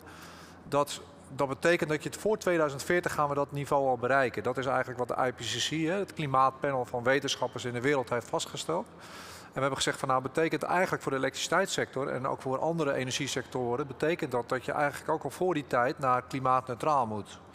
Ook al omdat andere sectoren zoals de luchtvaart en de landbouw hebben meer tijd nodig. We hebben minder kosteneffectieve maatregelen ter beschikking. Nou, dus, dus van daaruit hebben we dus puur vanuit de planeet, hè, dat is ook onze plan One Planet, wat we al 2015 zijn gestart. eh, hebben we gezegd van we moeten het aanscherpen van 2050 naar 2035. Dus dat was de eerste stap. Vanwege de planeet, vanwege de opwarming van de aarde. Tweede stap was van, maar hoe doe je dat dan in godsnaam? Hè? Wat betekent dat dan? Want dat is, dat is 15 jaar. En ik heb ook gezegd tegen mijn collega's en ook tegen de Raad van Bestuur eh, en de Raad van Commissarissen met alle de Japanse aanhouders. Jullie zullen wel heel zenuwachtig eh, zijn als jullie dit, dit, dit, dit plan zien en horen. Maar dat is ook goed dat je zenuwachtig bent. Want eh, je hebt namelijk, je, hebt, moet, je moet zenuwachtig zijn om in, in beweging te komen, om nog sneller te gaan. En wat we dus doen is aan de ene kant onze eigen emissies reduceren. Dat betekent dat onze gascentrales die wij hebben voor elektriciteitsopwekking in Rotterdam, maar ook in Utrecht voor de warmtenetten bijvoorbeeld, dat we die eh, naar nul emissie terugbrengen in 2035. Door het zij door het om te bouwen naar duurzame brandstoffen, het zij door het te sluiten als dat niet kan. Uh, we gaan groene stroom leveren, niet alleen aan onze consumenten, wat we al doen, maar ook 100% in 2030 al aan alle zakelijke klanten. Want waarom, waarom denken wij dat dat mogelijk is? Omdat we zien dat het maatschappelijke norm verschuift. Hè? Door die rechtszaken, maar ook door uh, de klimaatmassa van de jongere generaties die, die dat niet doen omdat ze dat zo verantwoordelijkheid voelen, maar ze zijn echt boos. Ze zijn boos diep in hun vezels. En wij denken dat dat gaat verschuiven naar andere generaties na de COVID-crisis. We zullen zien dat dat verder verschuift, die, die, die normen over klimaatverandering. En we denken dat het, dan, dat het dan eigenlijk zo is dat als je niet meegaat, niet voorop in die golf, dat je dan eigenlijk uh, ook op de markt het gaat verliezen. Dus, dus dat is de reden waarom we denken dat het ook in 2030 met groene stroom al kan. Nou, en de grootste uitdaging is natuurlijk, hoe ga je samen met je klanten van het gas af? Dat is de allergrootste uitdaging. Nou, dit is een mooi voorbeeld, Bospolder Tussendijk. Daar hebben wij ook samengewerkt, uh, werken we samen hè, met, uh, met, met, met, en, ik, en ik moet zeggen dat ik enorm trots ben om de samenwerking die daar tot stand is gebracht met alle partijen. Dus je ziet dus dat Ehm, uh, dus ik zeg altijd, je moet van bottom-up en top-down moet je allebei goed doen. Dus nationaal beleid, Europees beleid heb je nodig om te zorgen dat de wissels omgaan. Prijs, beprijzing van CO2, normering. Tegelijkertijd van onderop uh, samenwerken en zorgen dat je de belemmeringen wegneemt. En dat, dat laatste, uh, is, is, is, niet altijd via de lijn van de energietransitie. Dat is Bospolder Tussendijk is daar een fantastisch voorbeeld van veerkrachtig Bospolder Tussendijk. Dat is natuurlijk een sociaal-economisch programma in eerste, eerste, eerste aanzet. En, en, en ik denk dat dat een voorbeeld is, niet alleen voor Rotterdam, maar ook voor heel Nederland. Van hoe je dat zou moeten aanpakken en kunnen aanpakken. En misschien niet voor iedere wijk, maar voor heel veel wijken is dit een model wat heel goed werkt, omdat je aansluit bij de behoefte die leeft in de, in de wijk. En dat is wat we zien. Eén ding nog daarover. Iedereen denkt natuurlijk wel, ja, jullie willen zo snel naar klimaatneutraal. Maar is het eigenlijk wel betaalbaar? Kan ik dat eigenlijk wel meemaken? Hè? Nou, wat, wat, je dan ziet in, bijvoorbeeld in, uh, in de Bospolder Tussendijk, maar ook in een paar andere projecten, zie je al dat we erin geslaagd zijn in samenwerking met gemeenten, met de woningcorporatie, met het Rijk, om te zorgen dat, dat de huurder niet meer gaat betalen dan zijn gasrekening. En dat is dus, dus woninglastenneutraal. En dat is denk ik zeker voor deze doelgroep is dat cruciaal om, ze, om, om, om mee te kunnen. En ik denk dat we dat ook samen moeten, aan moeten werken, ook nationaal, ook voor de andere doelgroep, om dat voor elkaar uh, te krijgen. En ik denk dat het kan. Dat zijn geen miljarden per jaar, het zijn honderden miljoenen per jaar die we dan uh, met elkaar uh, moeten, moeten vinden. En ik denk dat, dat, dat het zich dubbel en dwars gaat terugbetalen als we dat doen. Ja, dus nou goed, daar hebben we het net ook even over gehad in het, in het voorgaande gesprek, hè, over die woonlastenneutraalheid. Uh, daar waren de mensen op het niveau van het gebouw nogal sceptisch over, maar ze zeiden, ja maar die mensen krijgen er ook iets voor terug.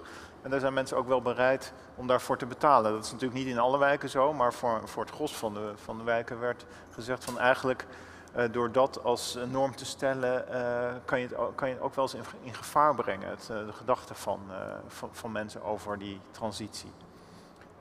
Hoe, hoe zie je dat dan? Dus die, die, die, die, dat idee dat het woonlasten neutraal kan, en in heel veel gevallen kan dat dus misschien wel niet. of willen we dat niet van, van overheidswegen uitbetalen? Uh, is het dan niet het gevaar om daarop in te zetten? Nou, kijk, een paar dingen daarover. Hè. Dus ik denk dat je aan de ene kant moet je zorgen dat je aardgas, dat je een, dat je een belastingsschuif verder toepast van elektriciteit naar aardgas. Dat hebben we de afgelopen jaren al gedaan. Dat betekent dat je elektriciteit steeds goedkoper maakt, omdat dat ook schoner wordt. Hè.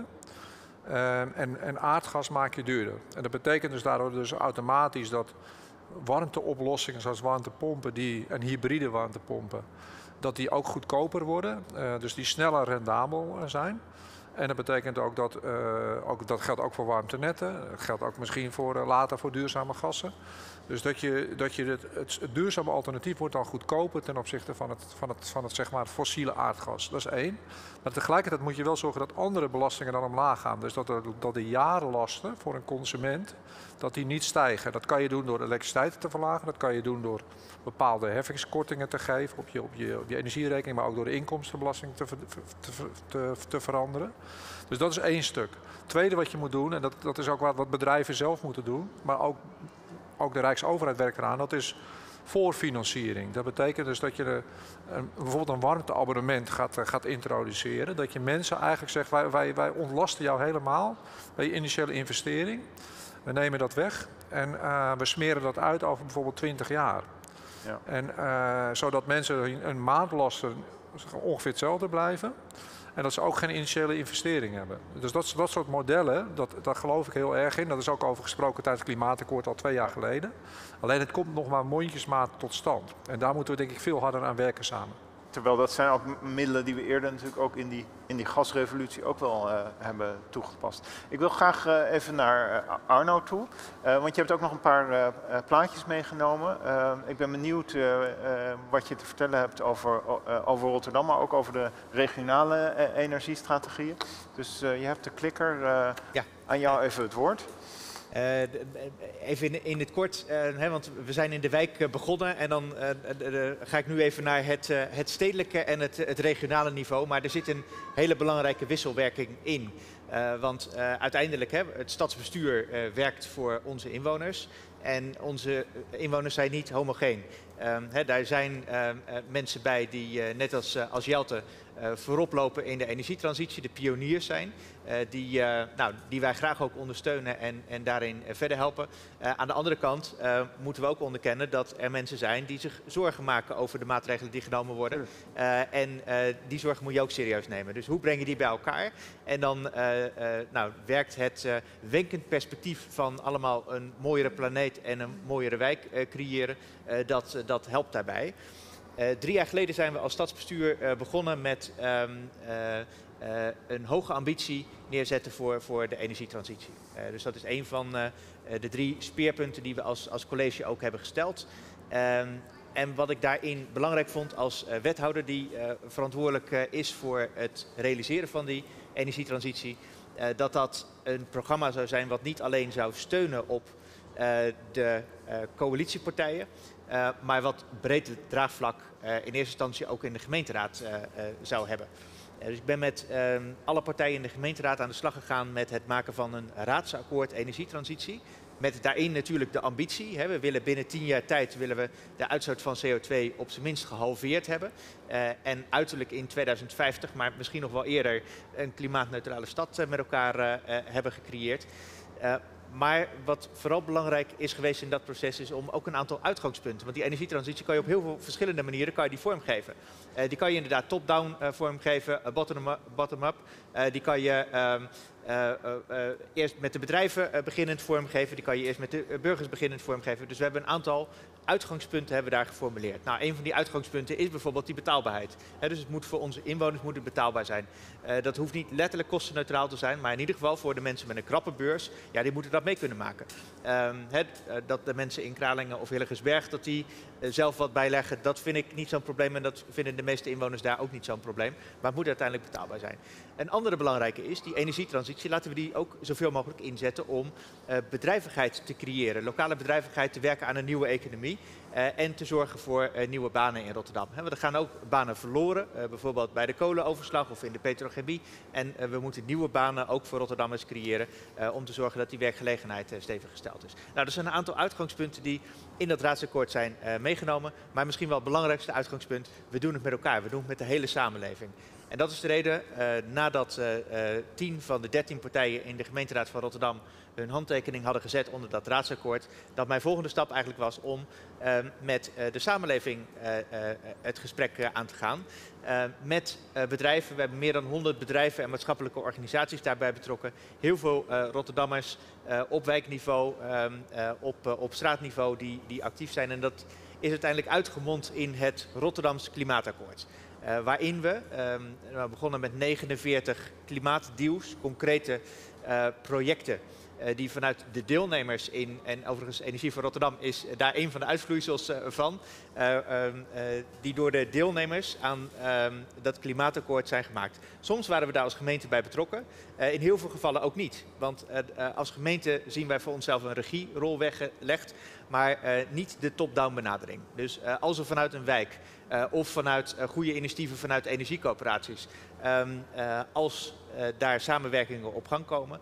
Um, als we daar als gemeente geen rol in hoeven te spelen, des te beter. Als we een, een klein beetje opstartsubsidie moeten geven, prima. Hè, als dat uiteindelijk bijdraagt aan, aan het uiteindelijke doel. Um, nou, dat is eigenlijk, daarin hebben we de hoofdlijnen geschetst van hoe wij de energietransitie vorm willen geven om de transitie te maken van een fossiele samenleving, een fossiele economie, naar een duurzame stad. En um, nou, die begint in Rotterdam, begint die eigenlijk op de Noordzee. Daar hebben we heel veel plek om schone energie op te wekken. en ik weet, Eneco is een van de partijen die daar die kansen ook ziet. En wij, hè, want die Noordzee is maar voor een heel klein deel van de gemeente, maar is, is uiteindelijk een rijksaangelegenheid. Ehm, dus dit gebruiken wij ook in de gesprekken met de Rijksoverheid om op aan te dringen. Maak nou echt vaart met het bouwen van die windparken op, op de Noordzee.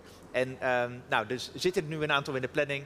Maar dat gaat niet snel genoeg. Dat gaat niet snel genoeg om uiteindelijk voldoende uh, schone energie te hebben om in 2030 uh, onze ambities waar te kunnen maken. Dus dat is ook richting kabinetsformatie is dat een hele belangrijke uh, boodschap. Nou, die schone energie van de Noordzee um, benutten we in eerste instantie en dat is mooi dat de haven dicht bij de zee ligt. Niet toevallig natuurlijk, maar uh, in dit geval is dat ook heel fijn. Uh, die uh, benutten we om um, de bedrijven in de haven, de petrochemische industrie, industrie, en andere bedrijven, om die te verduurzamen. Te elektrificeren deels. Hè, dus we gebruiken die elektriciteit om die warmteprocessen daar um, um, op een duurzame manier plaats te laten vinden. En voor een deel om waterstof op te wekken.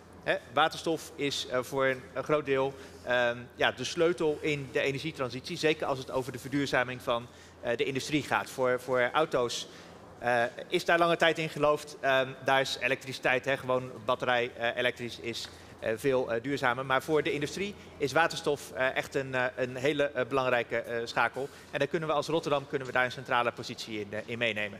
Nou, dan um, uh, hebben we natuurlijk uh, uh, de wijken. Daar, daar hebben we het vandaag veel over gehad. Maar de relatie tussen haven en wijken is ook wel een, een hele belangrijke. Want die schone energie die we op de Noordzee opwekken, um, ja, dan kan je natuurlijk zeggen, die, die gaan we gebruiken om allerlei warm, warmtepompen te laten draaien. Um, als Rotterdam hebben we gezegd, en daar komt de energiestrategie, eh, de regionale energiestrategie om de hoek kijken, hebben we ook een analyse gemaakt van hoe kan je zo efficiënt mogelijk ook die energiestromen laten lopen. En eh, als we dan een analyse voor Rotterdam maken, dan zien we als alternatief voor aardgas, ehm, in tegenstelling tot een aantal andere regio's in Nederland, eh, zien wij eigenlijk de warmtepompen niet zitten. Dat kost zoveel elektriciteit die we heel graag willen gebruiken om die industrie te verduurzamen en voor een deel ook om onze auto's elektrisch te laten rijden. terwijl we hier een veel uh, logischere energiebron beschikbaar hebben, logischere warmtebron. En dat is de restwarmte van die industrie. Uh, de huidige industrie, maar ook straks de verduurzamende industrie of uh, die electrolyzers die waterstof op gaan wekken. Daar komt heel veel warmte bij vrij, ja, die we nu gewoon de Noordzee inspoelen. Terwijl we die liever de andere kant op transporteren om onze woningen mee te verwarmen. Dus dat is een hele belangrijke strategische keuze. Um, die, nou, die, we, die is wel top-down gemaakt. Hè? Of die is die, die, die, maak je op, op stedelijk niveau of op regionaal niveau. En die wil je op wijkniveau uiteindelijk in implementeren. Maar hier vind ik het wel belangrijk dat je daar vanuit een breder perspectief, vanuit regionaal perspectief, naar kijkt en daar een aantal keuzes maakt. Terwijl een aantal andere keuzes veel logischer zijn om op wijkniveau te doen. En uh, daar ook uh, je inwoners zoveel mogelijk een rol in, in te laten spelen. Uh, nou, tenslotte de mobiliteit, ik heb hem al even genoemd. We gaan natuurlijk allemaal steeds elektrisch. Um, dat kost heel veel elektriciteit, maar aan de andere kant um, uh, kan dat ook een hele uh, goede kans zijn om je elektriciteitsnet zo stabiel mogelijk te maken. Want al die auto's die voor de deur staan te laden, kunnen ook op momenten dat de elektriciteit op het net nodig is, je net weer terugvoeden. Dus dat is eigenlijk één grote ja, batterij ook voor je elektriciteitsnet. En um, als we dat op een slimme manier vormgeven, dan uh, kan je uh, net of de energie die bij uh, Jelte wordt, op een zonnige dag wordt, wordt opgewekt, kan ook even tijdelijk opgeslagen worden in een accu van een elektrische auto. om op een ander piekmoment weer gebruikt te worden om nou, bijvoorbeeld elektrisch te koken of, of op een andere manier de elektriciteitsvraag te vo voldoen. Nou, en uh, uh, door die stromen goed met elkaar te combineren, uh, kunnen we die duurzame stad met elkaar creëren. Dan kom ik weer even terug op dat raadsakkoord energietransitie, hè, dus waar we een aantal uitgangspunten hebben opgenomen. Eén, die bedrijvigheid en werkgelegenheid. Een goed voorbeeld daarvan is, dat zijn die, windparken op zee. Ik ben ontzettend trots op, dit is de Haliade X, de grootste, de hoogste windmolen ter wereld. gebouwd door General Electric ehm, in de Rotterdamse haven, wordt op dit moment getest. Um, als dit model succesvol uit de test komt en alles wijst daarop, uh, zou dat wel eens het nieuwe model voor uh, uh, windmolens op zee kunnen zijn. En zou het dan niet fantastisch zijn dat die Haliade X hier ook in Rotterdam gebouwd wordt, onderhouden wordt op zee door, do, door Rotterdammers en dus ook Rotterdamse werkgelegenheid creëert. Dus het levert niet alleen stroom op, maar ook werkgelegenheid en een impuls voor de lokale economie. Maar ook uh, binnen Rotterdam, hè, langs snelwegen in het havengebied, hebben wij veel ruimte uh, die we niet met die jaren exen, want die zijn een beetje te groot, maar voor wat kleinere modellen prima kunnen benutten om die duurzame energie op te wekken, want uh, daar hebben we ontzettend veel van, van nodig.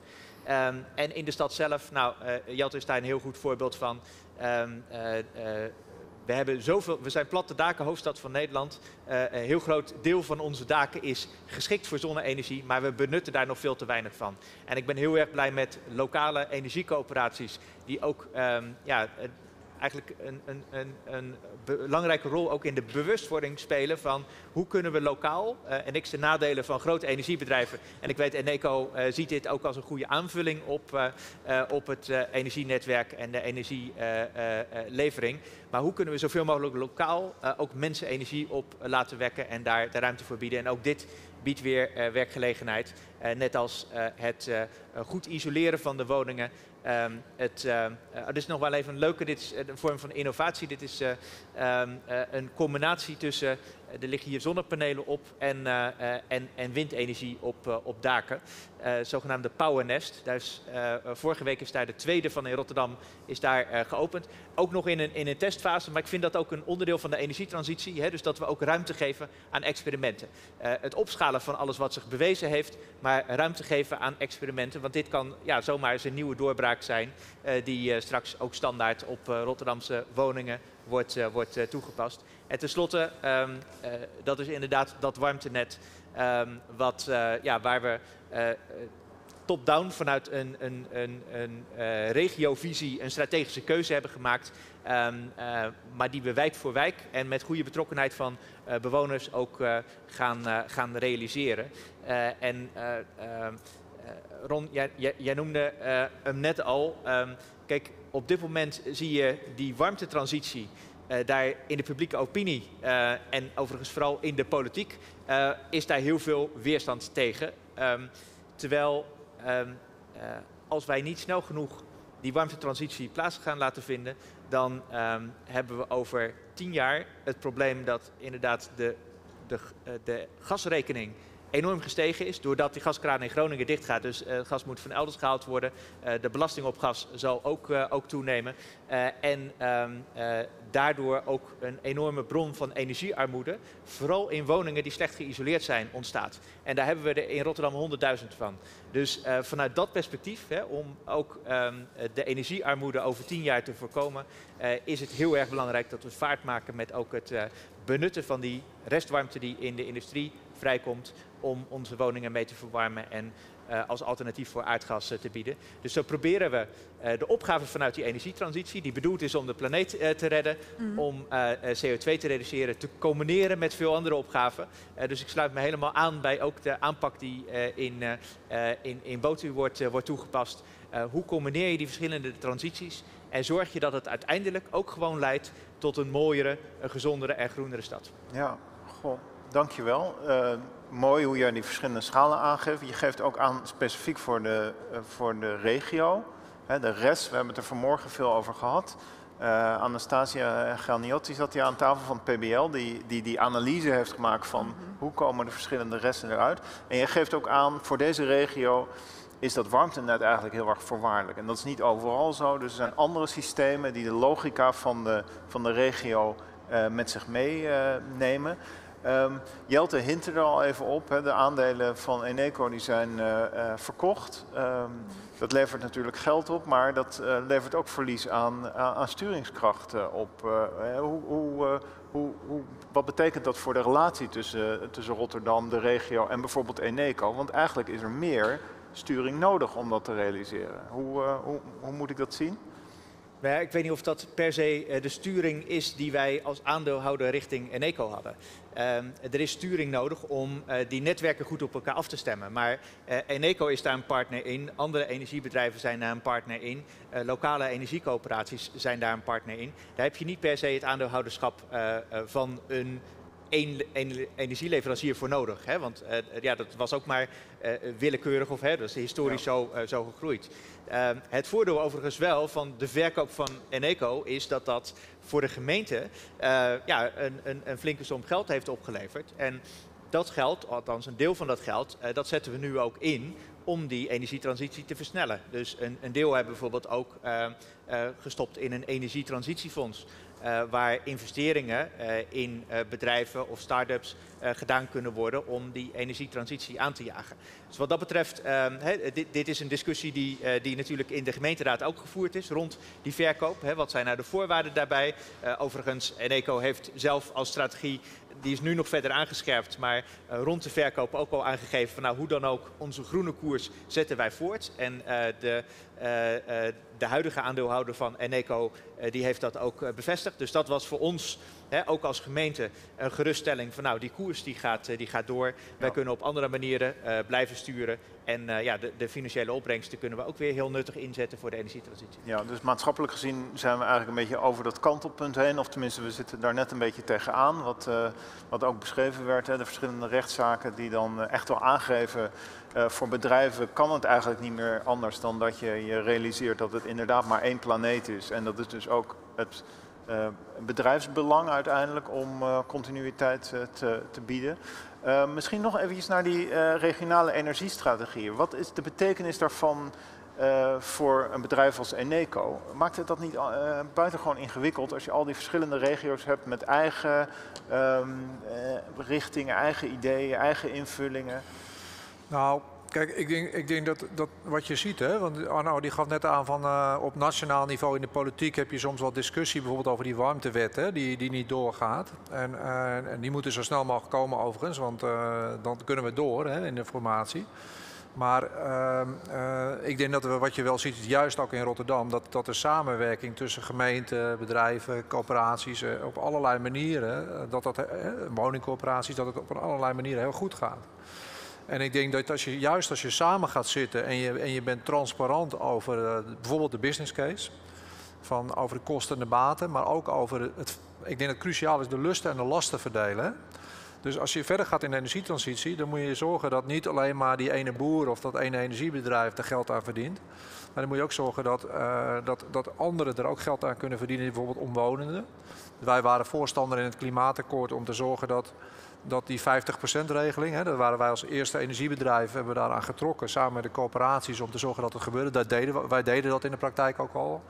Um, als je teruggaat naar de, naar de regionale energiestrategieën, dan zie je dus ook bijvoorbeeld, uh, we zijn nu bijvoorbeeld bezig met de warmtenetten van, uh, in Rotterdam, maar ook van Rotterdam naar Den Haag. Uh, samen met de Gasunie en met, met het Rijk en de gemeentes.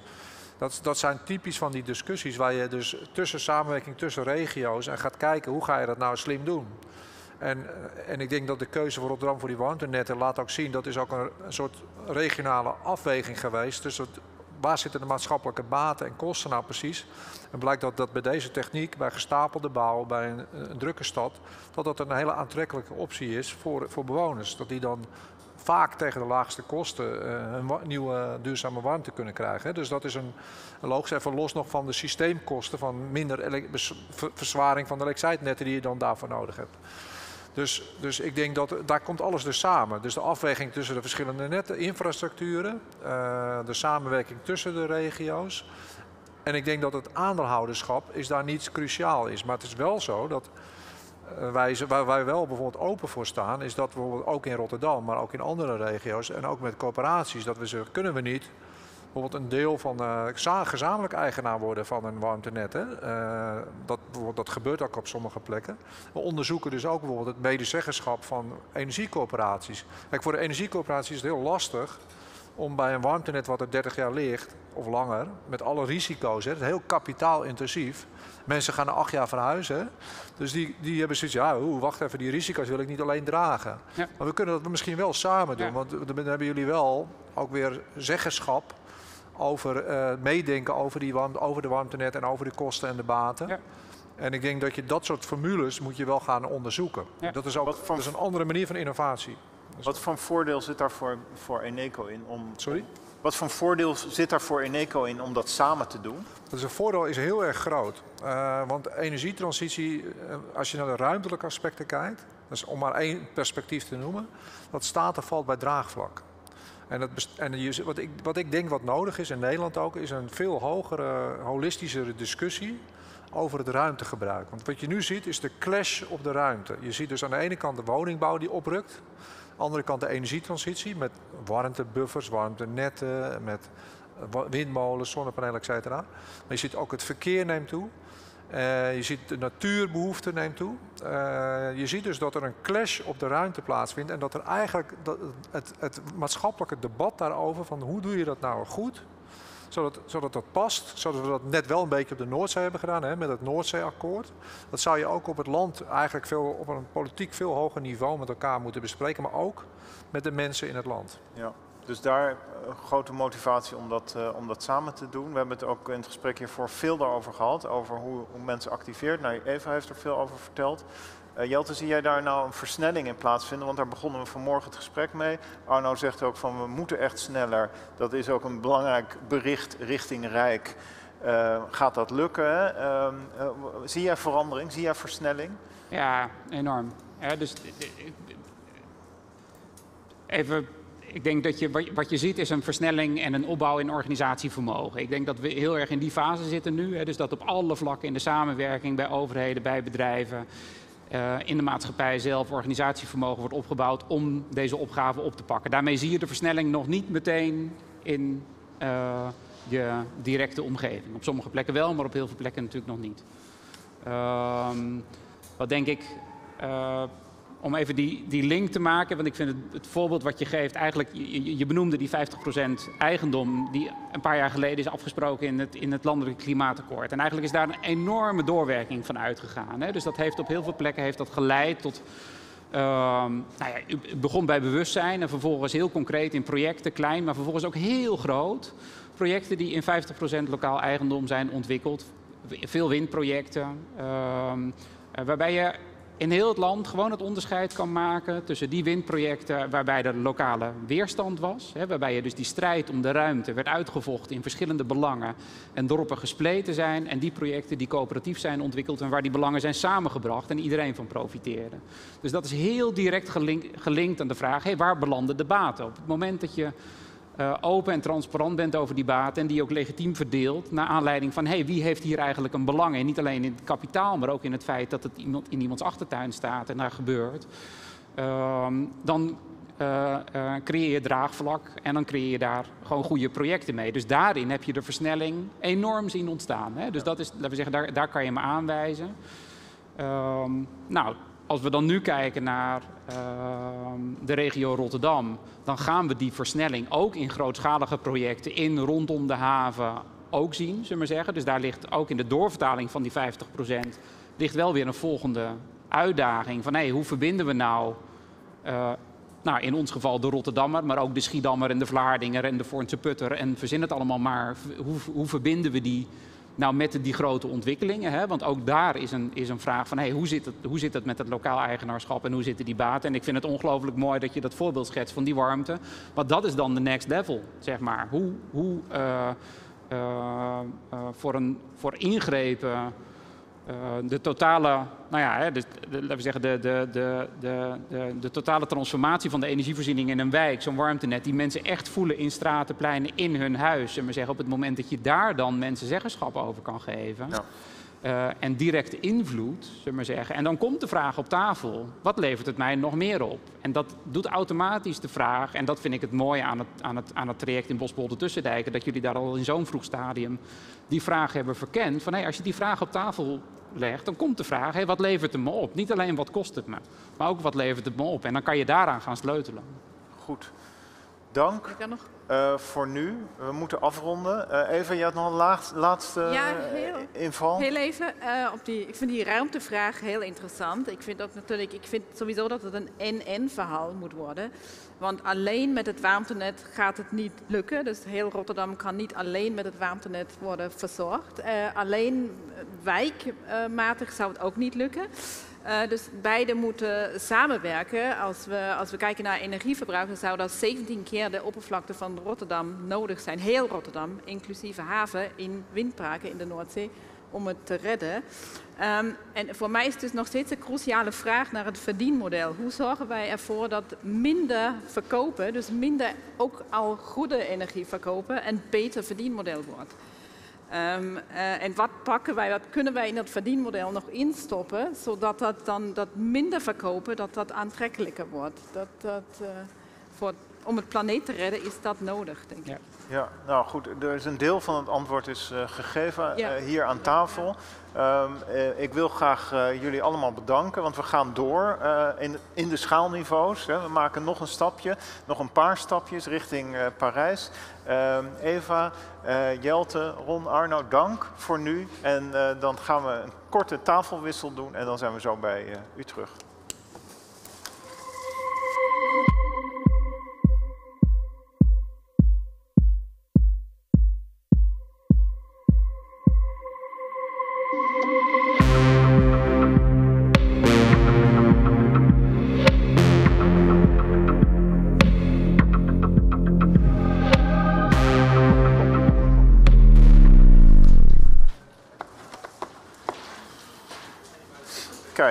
De wonderen zijn de wereld nog niet uit. We zijn hier uh, gewisseld. We gaan door uh, in de uh, schaalniveaus. bij mij aan tafel Martijn Steenstra, um, expert leader van Urban Insights bij Sweco. En Boris Hoks, directeur Generation Energy.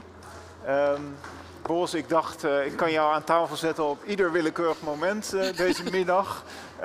want je bent veel betrokken bij, bij de energietransitie. Um, maar we hebben straks, en, uh, en, en, dat bruggetje gaan we, gaan we zo maken, ook een, een bijdrage uit het buitenland. Uh, we zijn heel erg blij dat, uh, dat Hilde Solly ook aan tafel is. Ik zie er al op het scherm verschijnen. we gaan zo, we will switch to English in a moment, but first we still need to do a couple of more steps before we reach the borders of our country. Dus um, Boris, um, ik vond het toch wel interessant om nog eventjes met jou ook te reflecteren op waar het... Um, het gesprek net eindigde. Ja. Hè?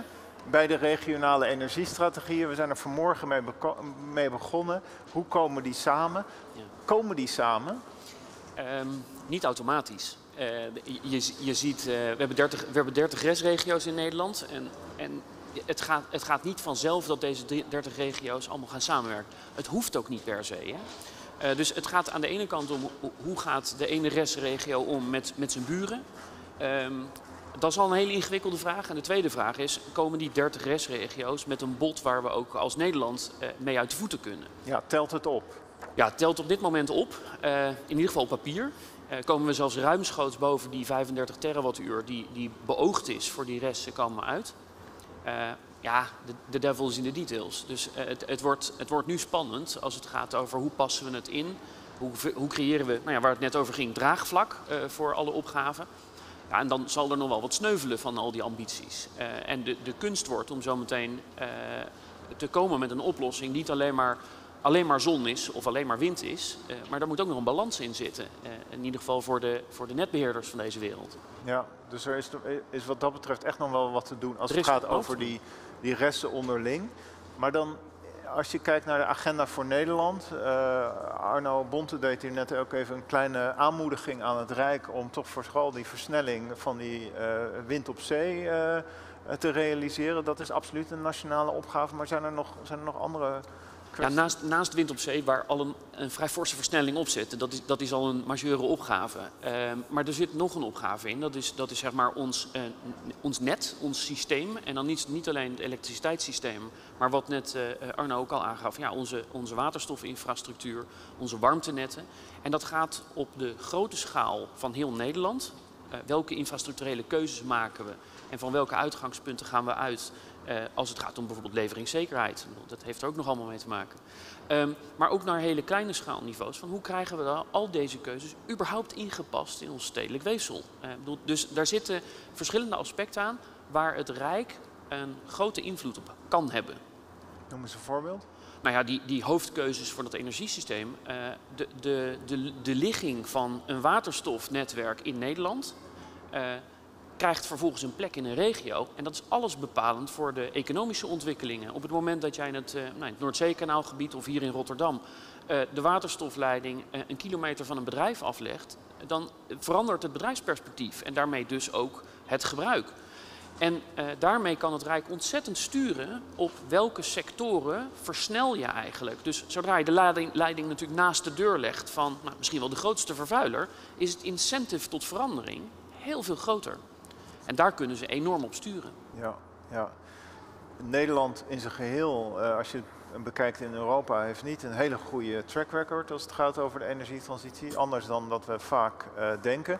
Maar vanmorgen werd mij ook wel verteld, of vanmorgen, begin van de middag werd mij verteld, um, dat, uh, dat die lange aanloop uh, misschien ook wel echt belangrijk is om straks heel snel verandering uh, te realiseren. Klopt dat? Klopt dat beeld? Of moet ik toch een beetje... Ik weet niet of het klopt, maar ik ben het wel mee eens. We, ik denk dat het, wat wij doen is heel zorgvuldig door al onze governance structuren, met alle partijen die we aan tafel krijgen, goed nadenken Welke keuzes maken we? Aan welk knopje draaien? Welke leiding zetten we, leggen we neer? Welke keuzes maken we?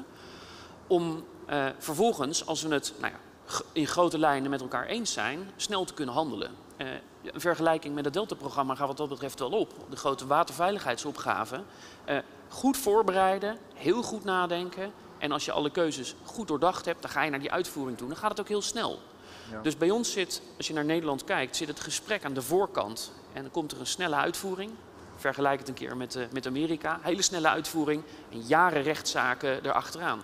Dus um, de, de, keuzes die we maken zijn vrij wel overwogen. Er zit een, een, een, enorme vertraging in. Maar meestal gaat het daarna heel snel. Ja, dus dat is toch... Daar, daar, daar moeten we toch nog een beetje vertrouwen in hebben. Is, eh, en Nederland, die Nederlandse aanpak, is, is die uniek? Nou ja, hij is in, in zoverre, nou, hij is niet helemaal uniek. Hè. Kijk, er gebeurt in, in Duitsland, in, in de Scandinavische landen, uh, in, in, in, in België uh, zitten vergelijkbare ideeën.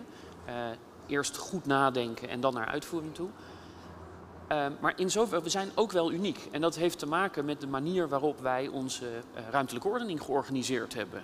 de manier waarop we ook ruimte geven in de res om zowel het, het bottom-up en het top-down tegelijkertijd uit te voeren.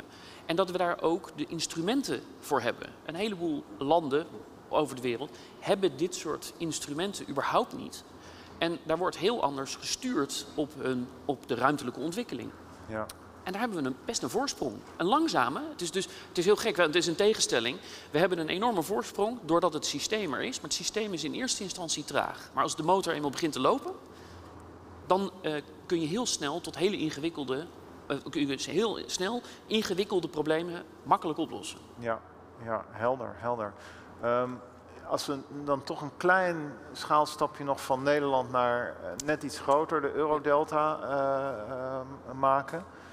Um, Eneco heeft net uh, hier aan tafel ook verteld wat hun uh, plan behelst. Dan gaat het ook over niet alleen maar de eigen uh, verantwoordelijkheid, maar ook de verantwoordelijkheid van de mensen waar ze aan leveren. Scope 3 heet dat geloof ik. Kan je, kan je nou voor Nederland ook zoiets zien? En misschien wel voor Rotterdam. De Rotterdamse haven is tenslotte ook heel erg belangrijk voor, voor dat hele achterland.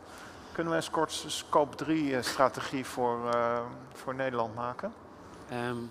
Of is dat te ambitieus? Moet je dan eerst toch eventjes laten zien dat je het zelf wel kan? Ik denk dat je het eerst zelf moet kunnen. Ik denk dat, dat zeg maar, eh, de, de ambitie nemen om uh, alle goederen die door de haven van Rotterdam, uh, of, of we die even CO2-neutraal kunnen krijgen, of dat wij dat wel even regelen, dat dat wel een maatje te groot is. Ik denk überhaupt dat Nederland er te klein voor is, voor wat wij allemaal doen. Ja, maar als je die doelstelling serieus neemt, kan je dan nog ondertussen doorgaan met het verschepen van kolen, terwijl je zelf in je klimaatapport mooie, mooie verhalen ophangt? Um, en misschien dat, dat is misschien een, een, nog wel een andere vraag. Ik denk inderdaad dat je die, dat je die vraag wel moet stellen. Van ja, jongens, gaan, gaan wij nou serieus uh, kolen doorvoeren? Uh, ik denk dat we een vergelijkbare vraag ook aan, um, aan Hilde kunnen vragen zometeen. Uh, want de, Noorwegen is nog een hele grote olie-exporteur. Dus ja. daar, zit, daar zit natuurlijk nog wel een spanning in. Kijk, hier uh, het is goed dat, dat Noors en Nederlands een beetje op elkaar lijken. Dus die, die boodschap komt al aan. Um, uh, ik zie, zie ik aan de gezichtsuitdrukking. Um, um, Martijn, om even naar jou uh, te gaan. We hebben het over uh, andere landen in, uh, in Europa, hoe die het doen. en de relatie met de klimaatadaptatie is veel aan tafel langsgekomen. Hè? Dus die, eigenlijk die relatie die je eigenlijk systemisch kan zeggen, ja, wat heeft het eigenlijk met elkaar te maken? Maar het moet tegelijkertijd gebeuren en dan opeens heeft het toch veel met elkaar te maken. Uh, hoe kijk jij daarnaar als je Nederland vergelijkt met andere landen in Europa?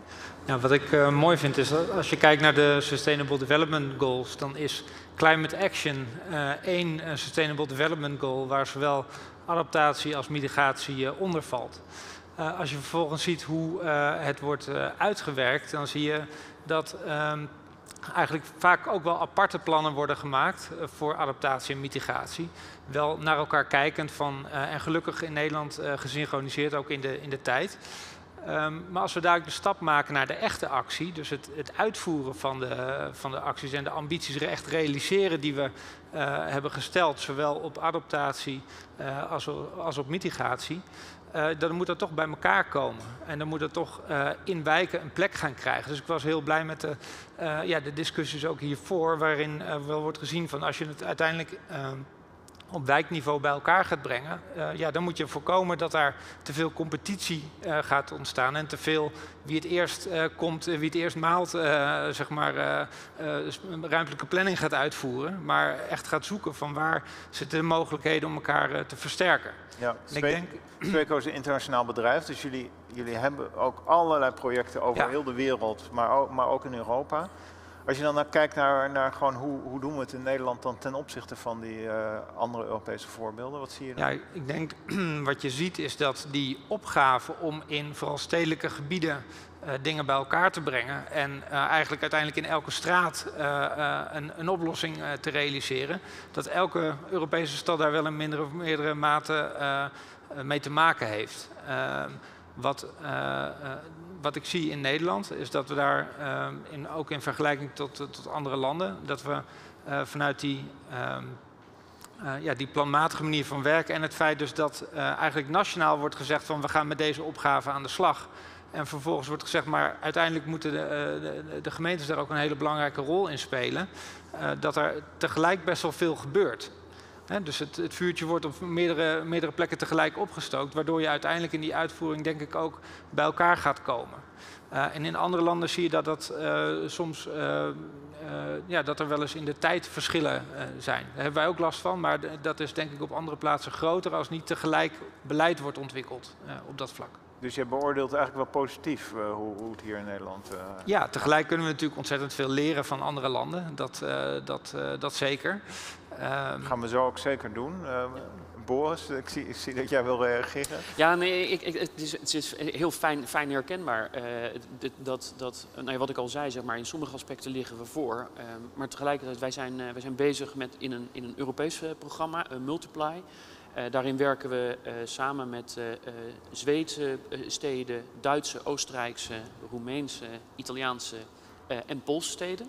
Dus het is een heel mooi gemêleerd gezelschap. En je leert een heleboel van elkaar, ook van elkaars onvermogens. Dat is heel grappig. Dus zeg maar, waar, waar je ziet dat mensen moeite mee hebben, daar kun je samen ook een heleboel van leren. Eh, maar je wordt ook wel verrast door sommige inzichten. Eh, het, was, het was heel grappig om te zien dat wij door onze Poolse partner erop werden gewezen. Ja, wij gebruiken nog best wel veel kolen in, eh, in ons land. Waarbij zeiden, ja, wij ook, dat gebeurt. Wij stoken ook nog steeds kolen om onze elektriciteit te maken. En toen werden we even gecorrigeerd. Nee, we gebruiken de kolen ook gewoon nog in huis. En dan heb je dus een hele andere transitie te pakken. Die net als bij ons in de wijk begint, maar wel met een hele ander startpunt. Ja.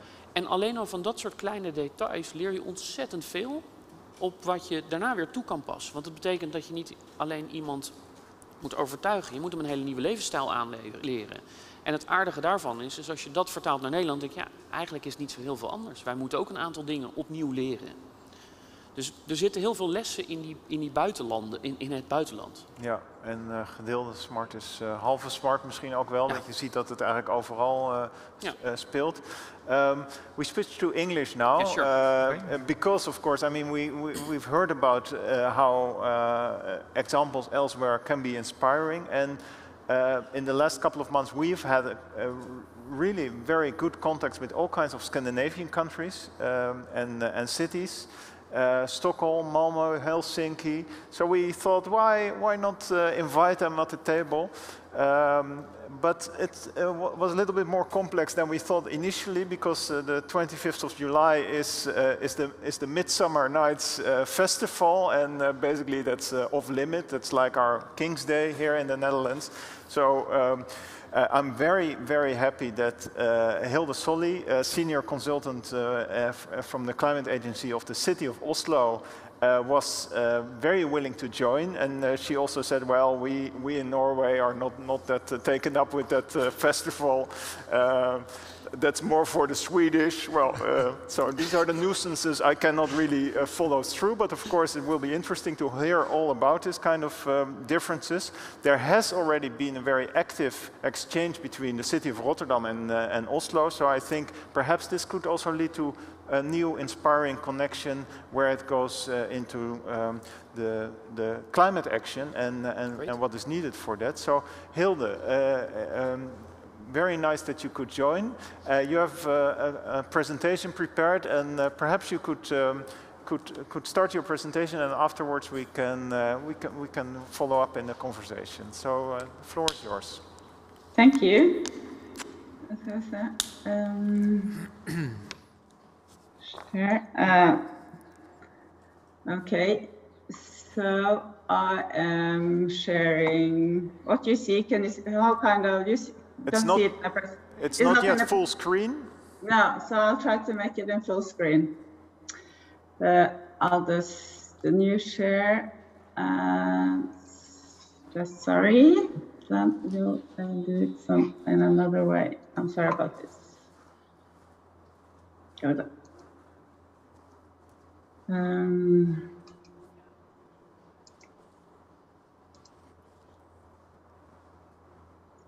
share. Try it again. Oh, we're trying. Sorry. Yes. Great. Okay. There you go. Yes. That's great. Um, thank you. Uh, thank you for having me here. My name is uh, Hilde Soli, and I work at uh, the Agency for Climate in Oslo. Uh, I'm very happy to be here. I'm very glad, glad to be uh, invited. Uh, we work, um, I'm going to talk uh, with you with something I worked a lot with, the climate strategy for Oslo. It's very important uh, both to me and to the city of Oslo. So I'm very happy to talk about that. Uh, uh, I have to click like this, I think. Okay, sorry about this. Uh, the uh, uh, climate strategy was adopted by the city government uh, last year in May. Uh, it's um, we had a climate strategy and an adoption climate adoption strategy before that, and this new strategy compromises both climate mitigation and adoption. It's also a mandate for us in Oslo and for the citizens and the enterprises uh, to work uh, with long-term, uh, a commitment to long-term mitigations uh, and adaptation measures. Uh, we have 16 priority areas, uh, which um, I'll show you, but it really takes all kinds of mitigations measures and um, the whole spectrum of uh, climate actions needed and makes it easier for us to act together. And this was the wrong direction. So our main goals, and the, this has been uh, the goals for the time, is to cut the direct emissions by 95% in by 2030. That means that uh, in 2030 we will be practically zero emission it's also a goal to be climate resilient. It means that we will um, handle and uh, be adapted to what we can expect of climate change in Oslo. And then we have three more goals. Um, that makes it a more comprehensive strategy. It's um, a goal from energy to reduce energy uh, use. It's a goal for land use and forest, uh, and it's a goal uh, for indirect emissions, uh, saying that our contributions to emissions outside the city border should be su substantially uh, lower in the future. So this is the 16 priority areas, and I won't like to read them out loud for you. Uh, but you can read them here, and I uh, uh, guess you have um, been shared a copy or a link to uh, the English version of this as well. We have priorities areas for uh, land use, uh, both for the forest um, around Oslo and for the constructed areas. We have four um, priority areas for mobility, both um, uh, um, uh, related to the needs for the switch in mode, modes from uh, private cars to walking uh, and cycling and public transport, and for the switch in energy use from fossil fuels to renewable uh, and uh, pri priorities for zero emissions uh, energy. We have goals for building and construction, for waste, energy, and for consumption. And actually, we have five goals from climate governance, and that will be my main focus in this presentation. Uh, because cities create change, and I think that's a, a point of departure for us. Uh, cities are important agents uh, to create change, uh, but to do that, we need to work with our governance structure both internally and together um, with other parts of um, the society. So uh, the five priority areas, they are related to both uh, city governance, internal governance, then, then, we have a climate budget, and we have my agency where I work, which is an important part of this change. Uh, our job is uh, to be uh, to secure uh, knowledge, that, analysis, and to develop new climate measures.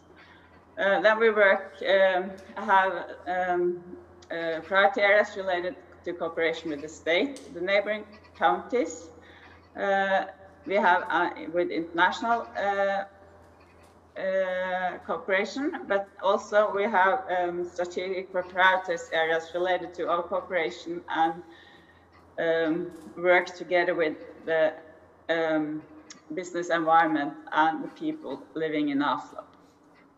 Uh, so the climate budget is really one um, governance tool that's really efficient because it makes a systematic way to work with climate governance internally in the municipality. It follows an ordinary budget cycle, which means that one year we'll sit down, what, what are our missions, what are our measures, uh, how can we develop this further, how far will this get us? Um, and of course, it's hard sometimes to calculate the effect of all measures. So we also have some measures which are not calculated. We identify uh, cost and responsibility for implementation. And the budgets mainly uh, uh, has measures related to direct emissions, but we also report, or will be from next year, reporting on the other um, uh, goals. And it's a budget for not what we do uh, or the uh, emissions we did from city governance, but from the whole geographical areas. So it's quite comprehensive. Uh, sorry, and the next year then we'll report. So that's uh, on the same measures. That means uh, we'll follow up very systematically through this. Uh, this is the emissions, the direct emissions in Oslo. and as you can see are the gray areas, about half of them are from transport. So therefore, my next governance example is related to transport and to, uh, and to cooperation with the state and the county surrounding Oslo. Uh, in Oslo, we have uh, a toll system, uh, a road toll system, which was implemented as far back as in the 1990s. This toll system is a, a cooperation between Oslo, uh, the neighboring county, and the state. And it's important both as a policy measure to reduce traffic, but also to make money available for investment. Uh, and today, 99% uh, of the money invested in Oslo from the uh, toll road system comes from um, uh, the toll road system, which makes it possible for us to, for example, uh, invest in the subway. Uh,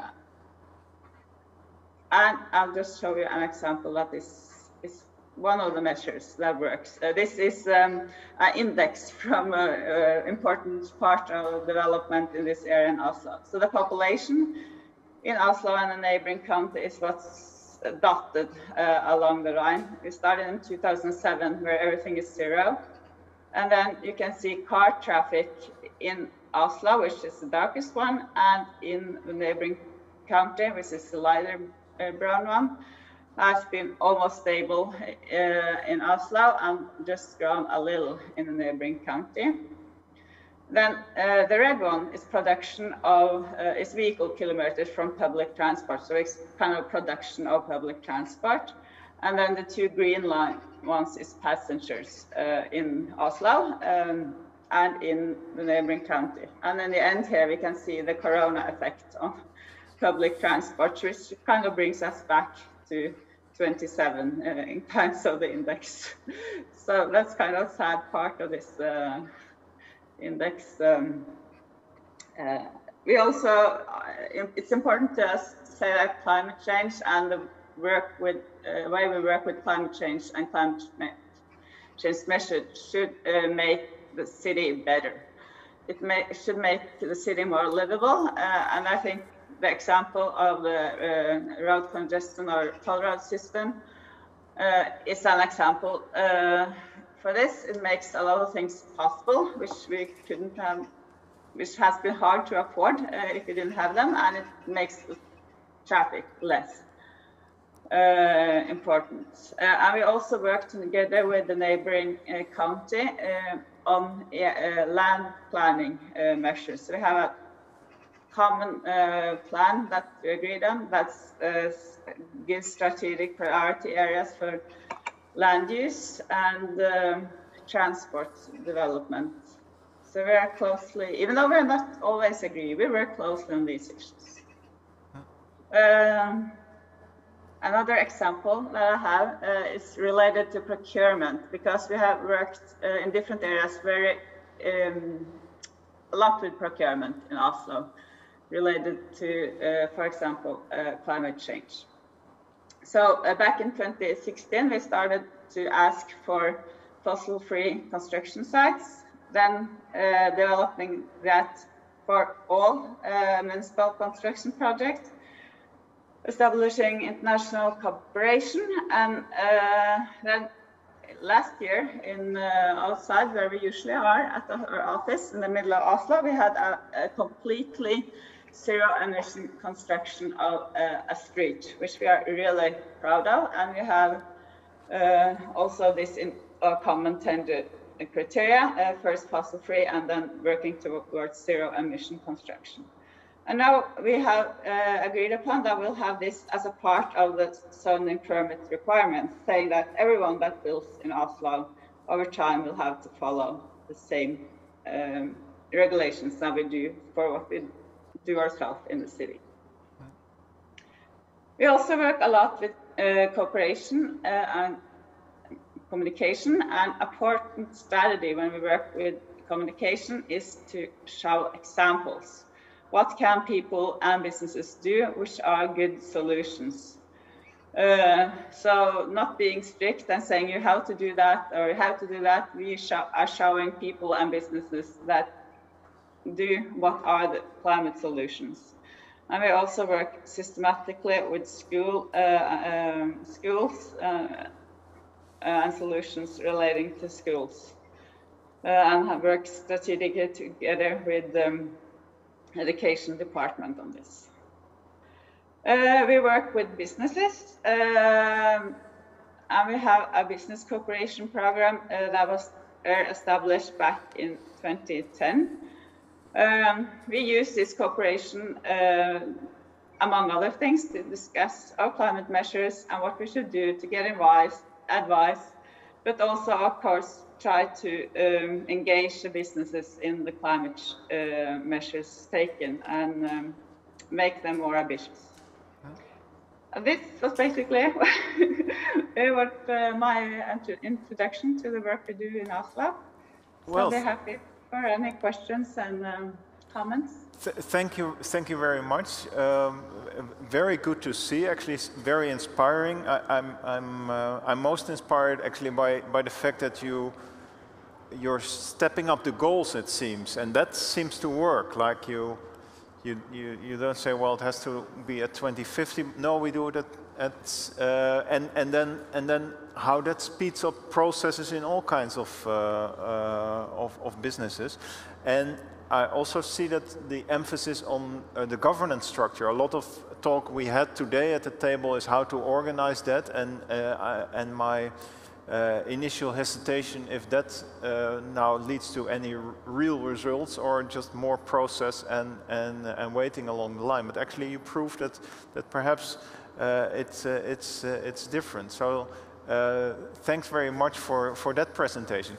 I'm curious a little bit, maybe a question from my side towards the neighborhood level. We just had a conversation here um, half an hour ago on the table about uh, how uh, neighborhood in, uh, in Rotterdam is, is really managing to, to take up a, a, a, very poor neighborhood, I have to say, one of the poorest of the Netherlands, has managed to take up the challenge and, uh, and start to work together on all kinds of different initiatives with people from the neighborhood in order to, to reach uh, that goal. Do you see something similar happening in, uh, in Oslo?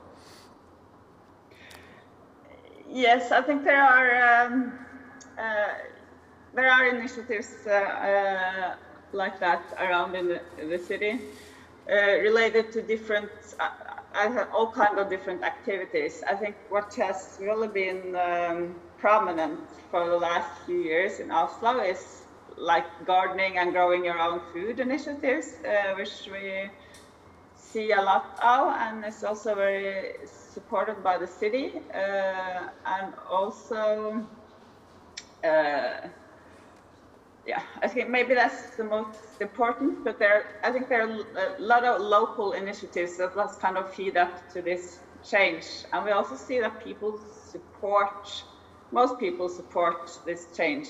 Um, we have a regular questionnaire uh, every year to the citizen, asking them about what they do themselves, which shows that a lot of them are taking their own actions and what they think about the work that we do.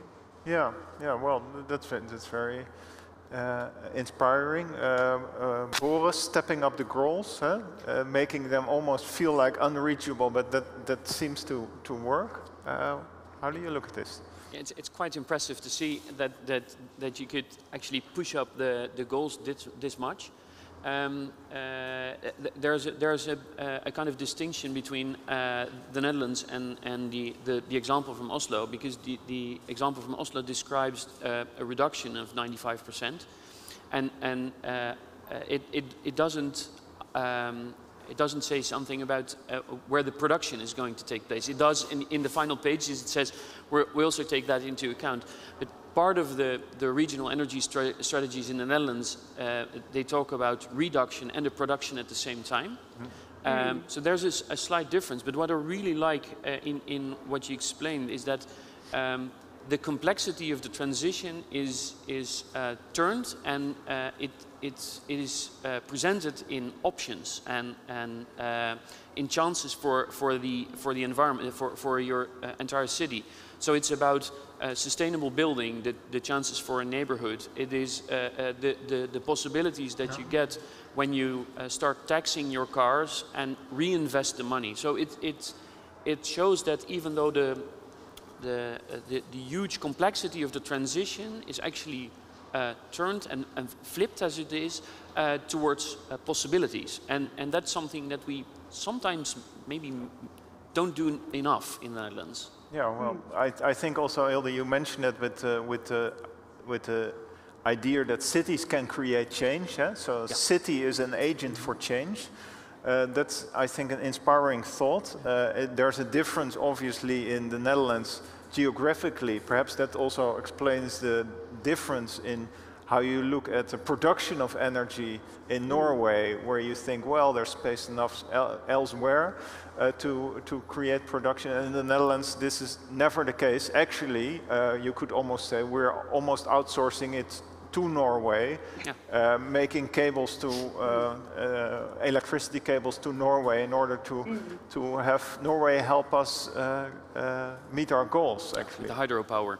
Yeah, so so interesting how to see that that, that there's this difference. Or is Oslo also investing in production capacity, Hilde? Um, can I just comment? I have a short comment on the goals first. Um, because I think uh, this the question about the scopes and the goals is a question that um, I got uh, a lot of times really. Uh, and then I think that the political commitment and like the, the strictness of the 95% uh, climate gas reductions uh, goals is what makes us work very hard to reach it and to really work to get new measures. But then we also see the point that you have that uh, it might be more important, you know, what you buy from outside. So what we have been working with uh, lately is uh, uh, the new goal that we have on in, indirect emissions, uh, and to make that concrete, and because they're always often so hard to measure, uh, we particularly work with the building sectors because that we think that's when they're talking about using tender, for example, there we can use our tender criteria to be strict and to know that what we do really have an impact. So we work with that, but we also work with a broader set of indicators. Mm -hmm. Then when it comes to energy, uh, I didn't talk a lot about energy. I think uh, Norway is very um, different from rest of Europe because of the hydropower, uh, that will um, have two priority areas uh, related to energy, uh, and that's um, to be have a more flexible energy system. Because when the transport sector is getting electric, uh, there is a need for more flexibility. If not, you will have a much higher investment need um, mm-hmm. in the grid. Yeah. And then there is a goal to reduce energy, and then we have we work with solar power in the city, and I think Norway have, haven't come that far when it comes to solar power compared to other European cities, but like the pub, um, the public buildings that we have in Oslo and we've been building us there we have a lot of projects that's really in the forefront also on these issues. Yeah. Okay, so that's really different in, in yep. terms of the, the way uh, energy is produced. Uh, um, um, Martijn, uh, the city as an agent for change, uh, yeah. is that something you recognize? Uh, definitely, definitely. And what, what I think is uh, very interesting, like uh, from, from Sweco, we have uh, performed a research last year in which we, we, we saw that only 17% of all European cities actually have a combined adaptation mitigation plan.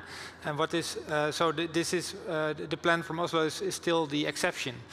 Uh, and um, the focus, what we, what we see in the plan and what, what you have presented is that uh, there is even five actions that are particularly about governance.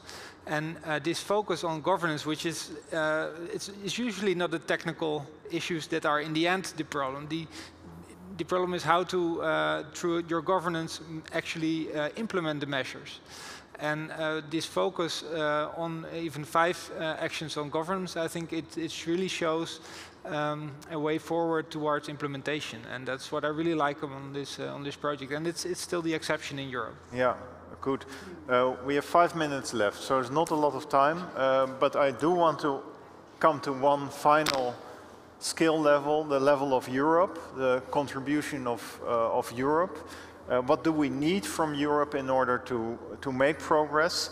Uh, Norway always, uh, obviously has a special relationship with, uh, with, with, Europe, um, um, but I, I, I think, uh, Hilde, you can also reflect on, on that very well. Uh, what, what is needed from, from Europe in order to, to um, um sort of step up the, the pace in the, in, in the transition? Boris, do you want to start? Yeah, sure. Um, a collective learning. Uh, I think that, that uh, examples uh, like this one from Oslo or examples from any country uh, sharing uh, uh, new insights, also sharing failures, because a lot of time we're, we're proud presenters of, of the things that we did right, but it's also really good to explain things that are not going really well, especially in governance or in your communication with your uh, uh, with the people in your in your city or in your country um, to learn from each other. Because I think that uh, in in a lot of cases we're trying to reinvent uh, the wheel. And uh, we can learn from any country in, in Western Europe or maybe even further out uh, but a, a, collective learning is something that I would would put on at number one basically. Mm. Okay. Yeah, I would uh, completely agree uh, on that, and I think this this exchange of good examples, and every every country has its uh, speciality in that, and is is, is good at uh, some something particular, or has tried out something that that might work in, another place. Uh, for instance, uh, we saw in, in a report that we wrote that in in Basel, the, they just through regulations established that you have to make green roofs on your roof when you're developing something and it really uh, stood out that uh, from, from uh, any city in Europe, you suddenly have uh, uh six square meters of green roof uh, on per citizen in Basel, and that is something that has not happened anywhere by this regulation. So. just these small examples that you can see what actually are the consequences of new measures, new rules that you implement, what it meant in another city. I think that's that's really helpful to see what shall we try out, what shall we implement, what shall we use uh, in our city. Yeah, so regardless of the differences, uh, big differences very often, uh, it, it, matters. Yeah, sh sharing those those examples, and and it doesn't have to be. It's not the the sharing of scientific ideas. So it's not the Horizon 2020 projects of the United Union. It is about sharing uh, these kinds of examples, uh, new insights, uh, uh, good ideas, and those are really hard to share because it's, it's, it's uh, complicated to, to make one platform for this. But I think that's, that's really essential. Yeah. yeah. we try to do that in, uh, with, in Sweco through the, our Urban Insight program. That through the different companies, yeah, we are all over Europe. Uh, so to to get uh, from consultants uh, in in uh, the countries to get the ideas and bring them together in one platform to to share it and to discuss the uh, yeah what what what we do. Hilde, like I said, from Norway, there's always a special relationship with with Europe. What what would you recommend? I completely agree on what uh, been said about sharing, uh, but as I said, it's often also hard because it's a question of context. What it's everything you have do, you have to like uh, adapt it to the context uh, that you're in. Uh, but one thing that we have been looking to the Netherlands for in Oslo uh, last year is the work with zero emission zones for uh, transport, um, which we, we do work with zero emission zones, and to see what you have been doing and the analysis and how you're uh, working towards that uh, progress is very inspiring, and we learn a lot from that. And I think to, share and discuss, uh, discuss complete, concrete actions is very useful. And then I would like to add that uh, cities together, uh, and that's, uh, they have also power. And Oslo being a small city, we are really dependent on cooperation with other cities, especially when we are trying to push forward technology. Because if we, as a small city, ask for something in a market, it really doesn't matter. But if you do that together. That's really a big difference. So I think cooperation uh, and working together with public procurement um, is really a way to make a change for cities together also. Okay, true. Very, thank you very much. Um, thank you also, uh, Boris and Martin, for, for being at the table here. I think that's a really good note to end up. Huh? So the importance of uh, inspiring each other, but also in uh, cooperating and uh, moving each other forward. I think it's really interesting that we've seen also uh, uh on the table uh, with the example of uh, energy company Eneco that they're really on, on a sort of turning point. The companies are reacting differently, are open to, to other kinds of incentives. So I think that is an inspiring note to end up with. Uh, we started with the question um, like, is something movie? Moving. Uh, we started with a quote from you uh, that I got yesterday. Like we, we thought that we uh, we start uh, we started with a marathon, but it actually uh, it turns out to be a sprint, the length of a marathon. Yeah. Um, so um, uh, can we keep up? That's the question. I'm very much inspired by Oslo in that sense that yes, indeed. Um, put your goals high enough, then you will, will surprise yourself in what you can achieve. Um, so I would like to thank uh, all of you uh, here on the table and, uh, and even in Oslo. I would like to thank also the people um, uh, that have watched this.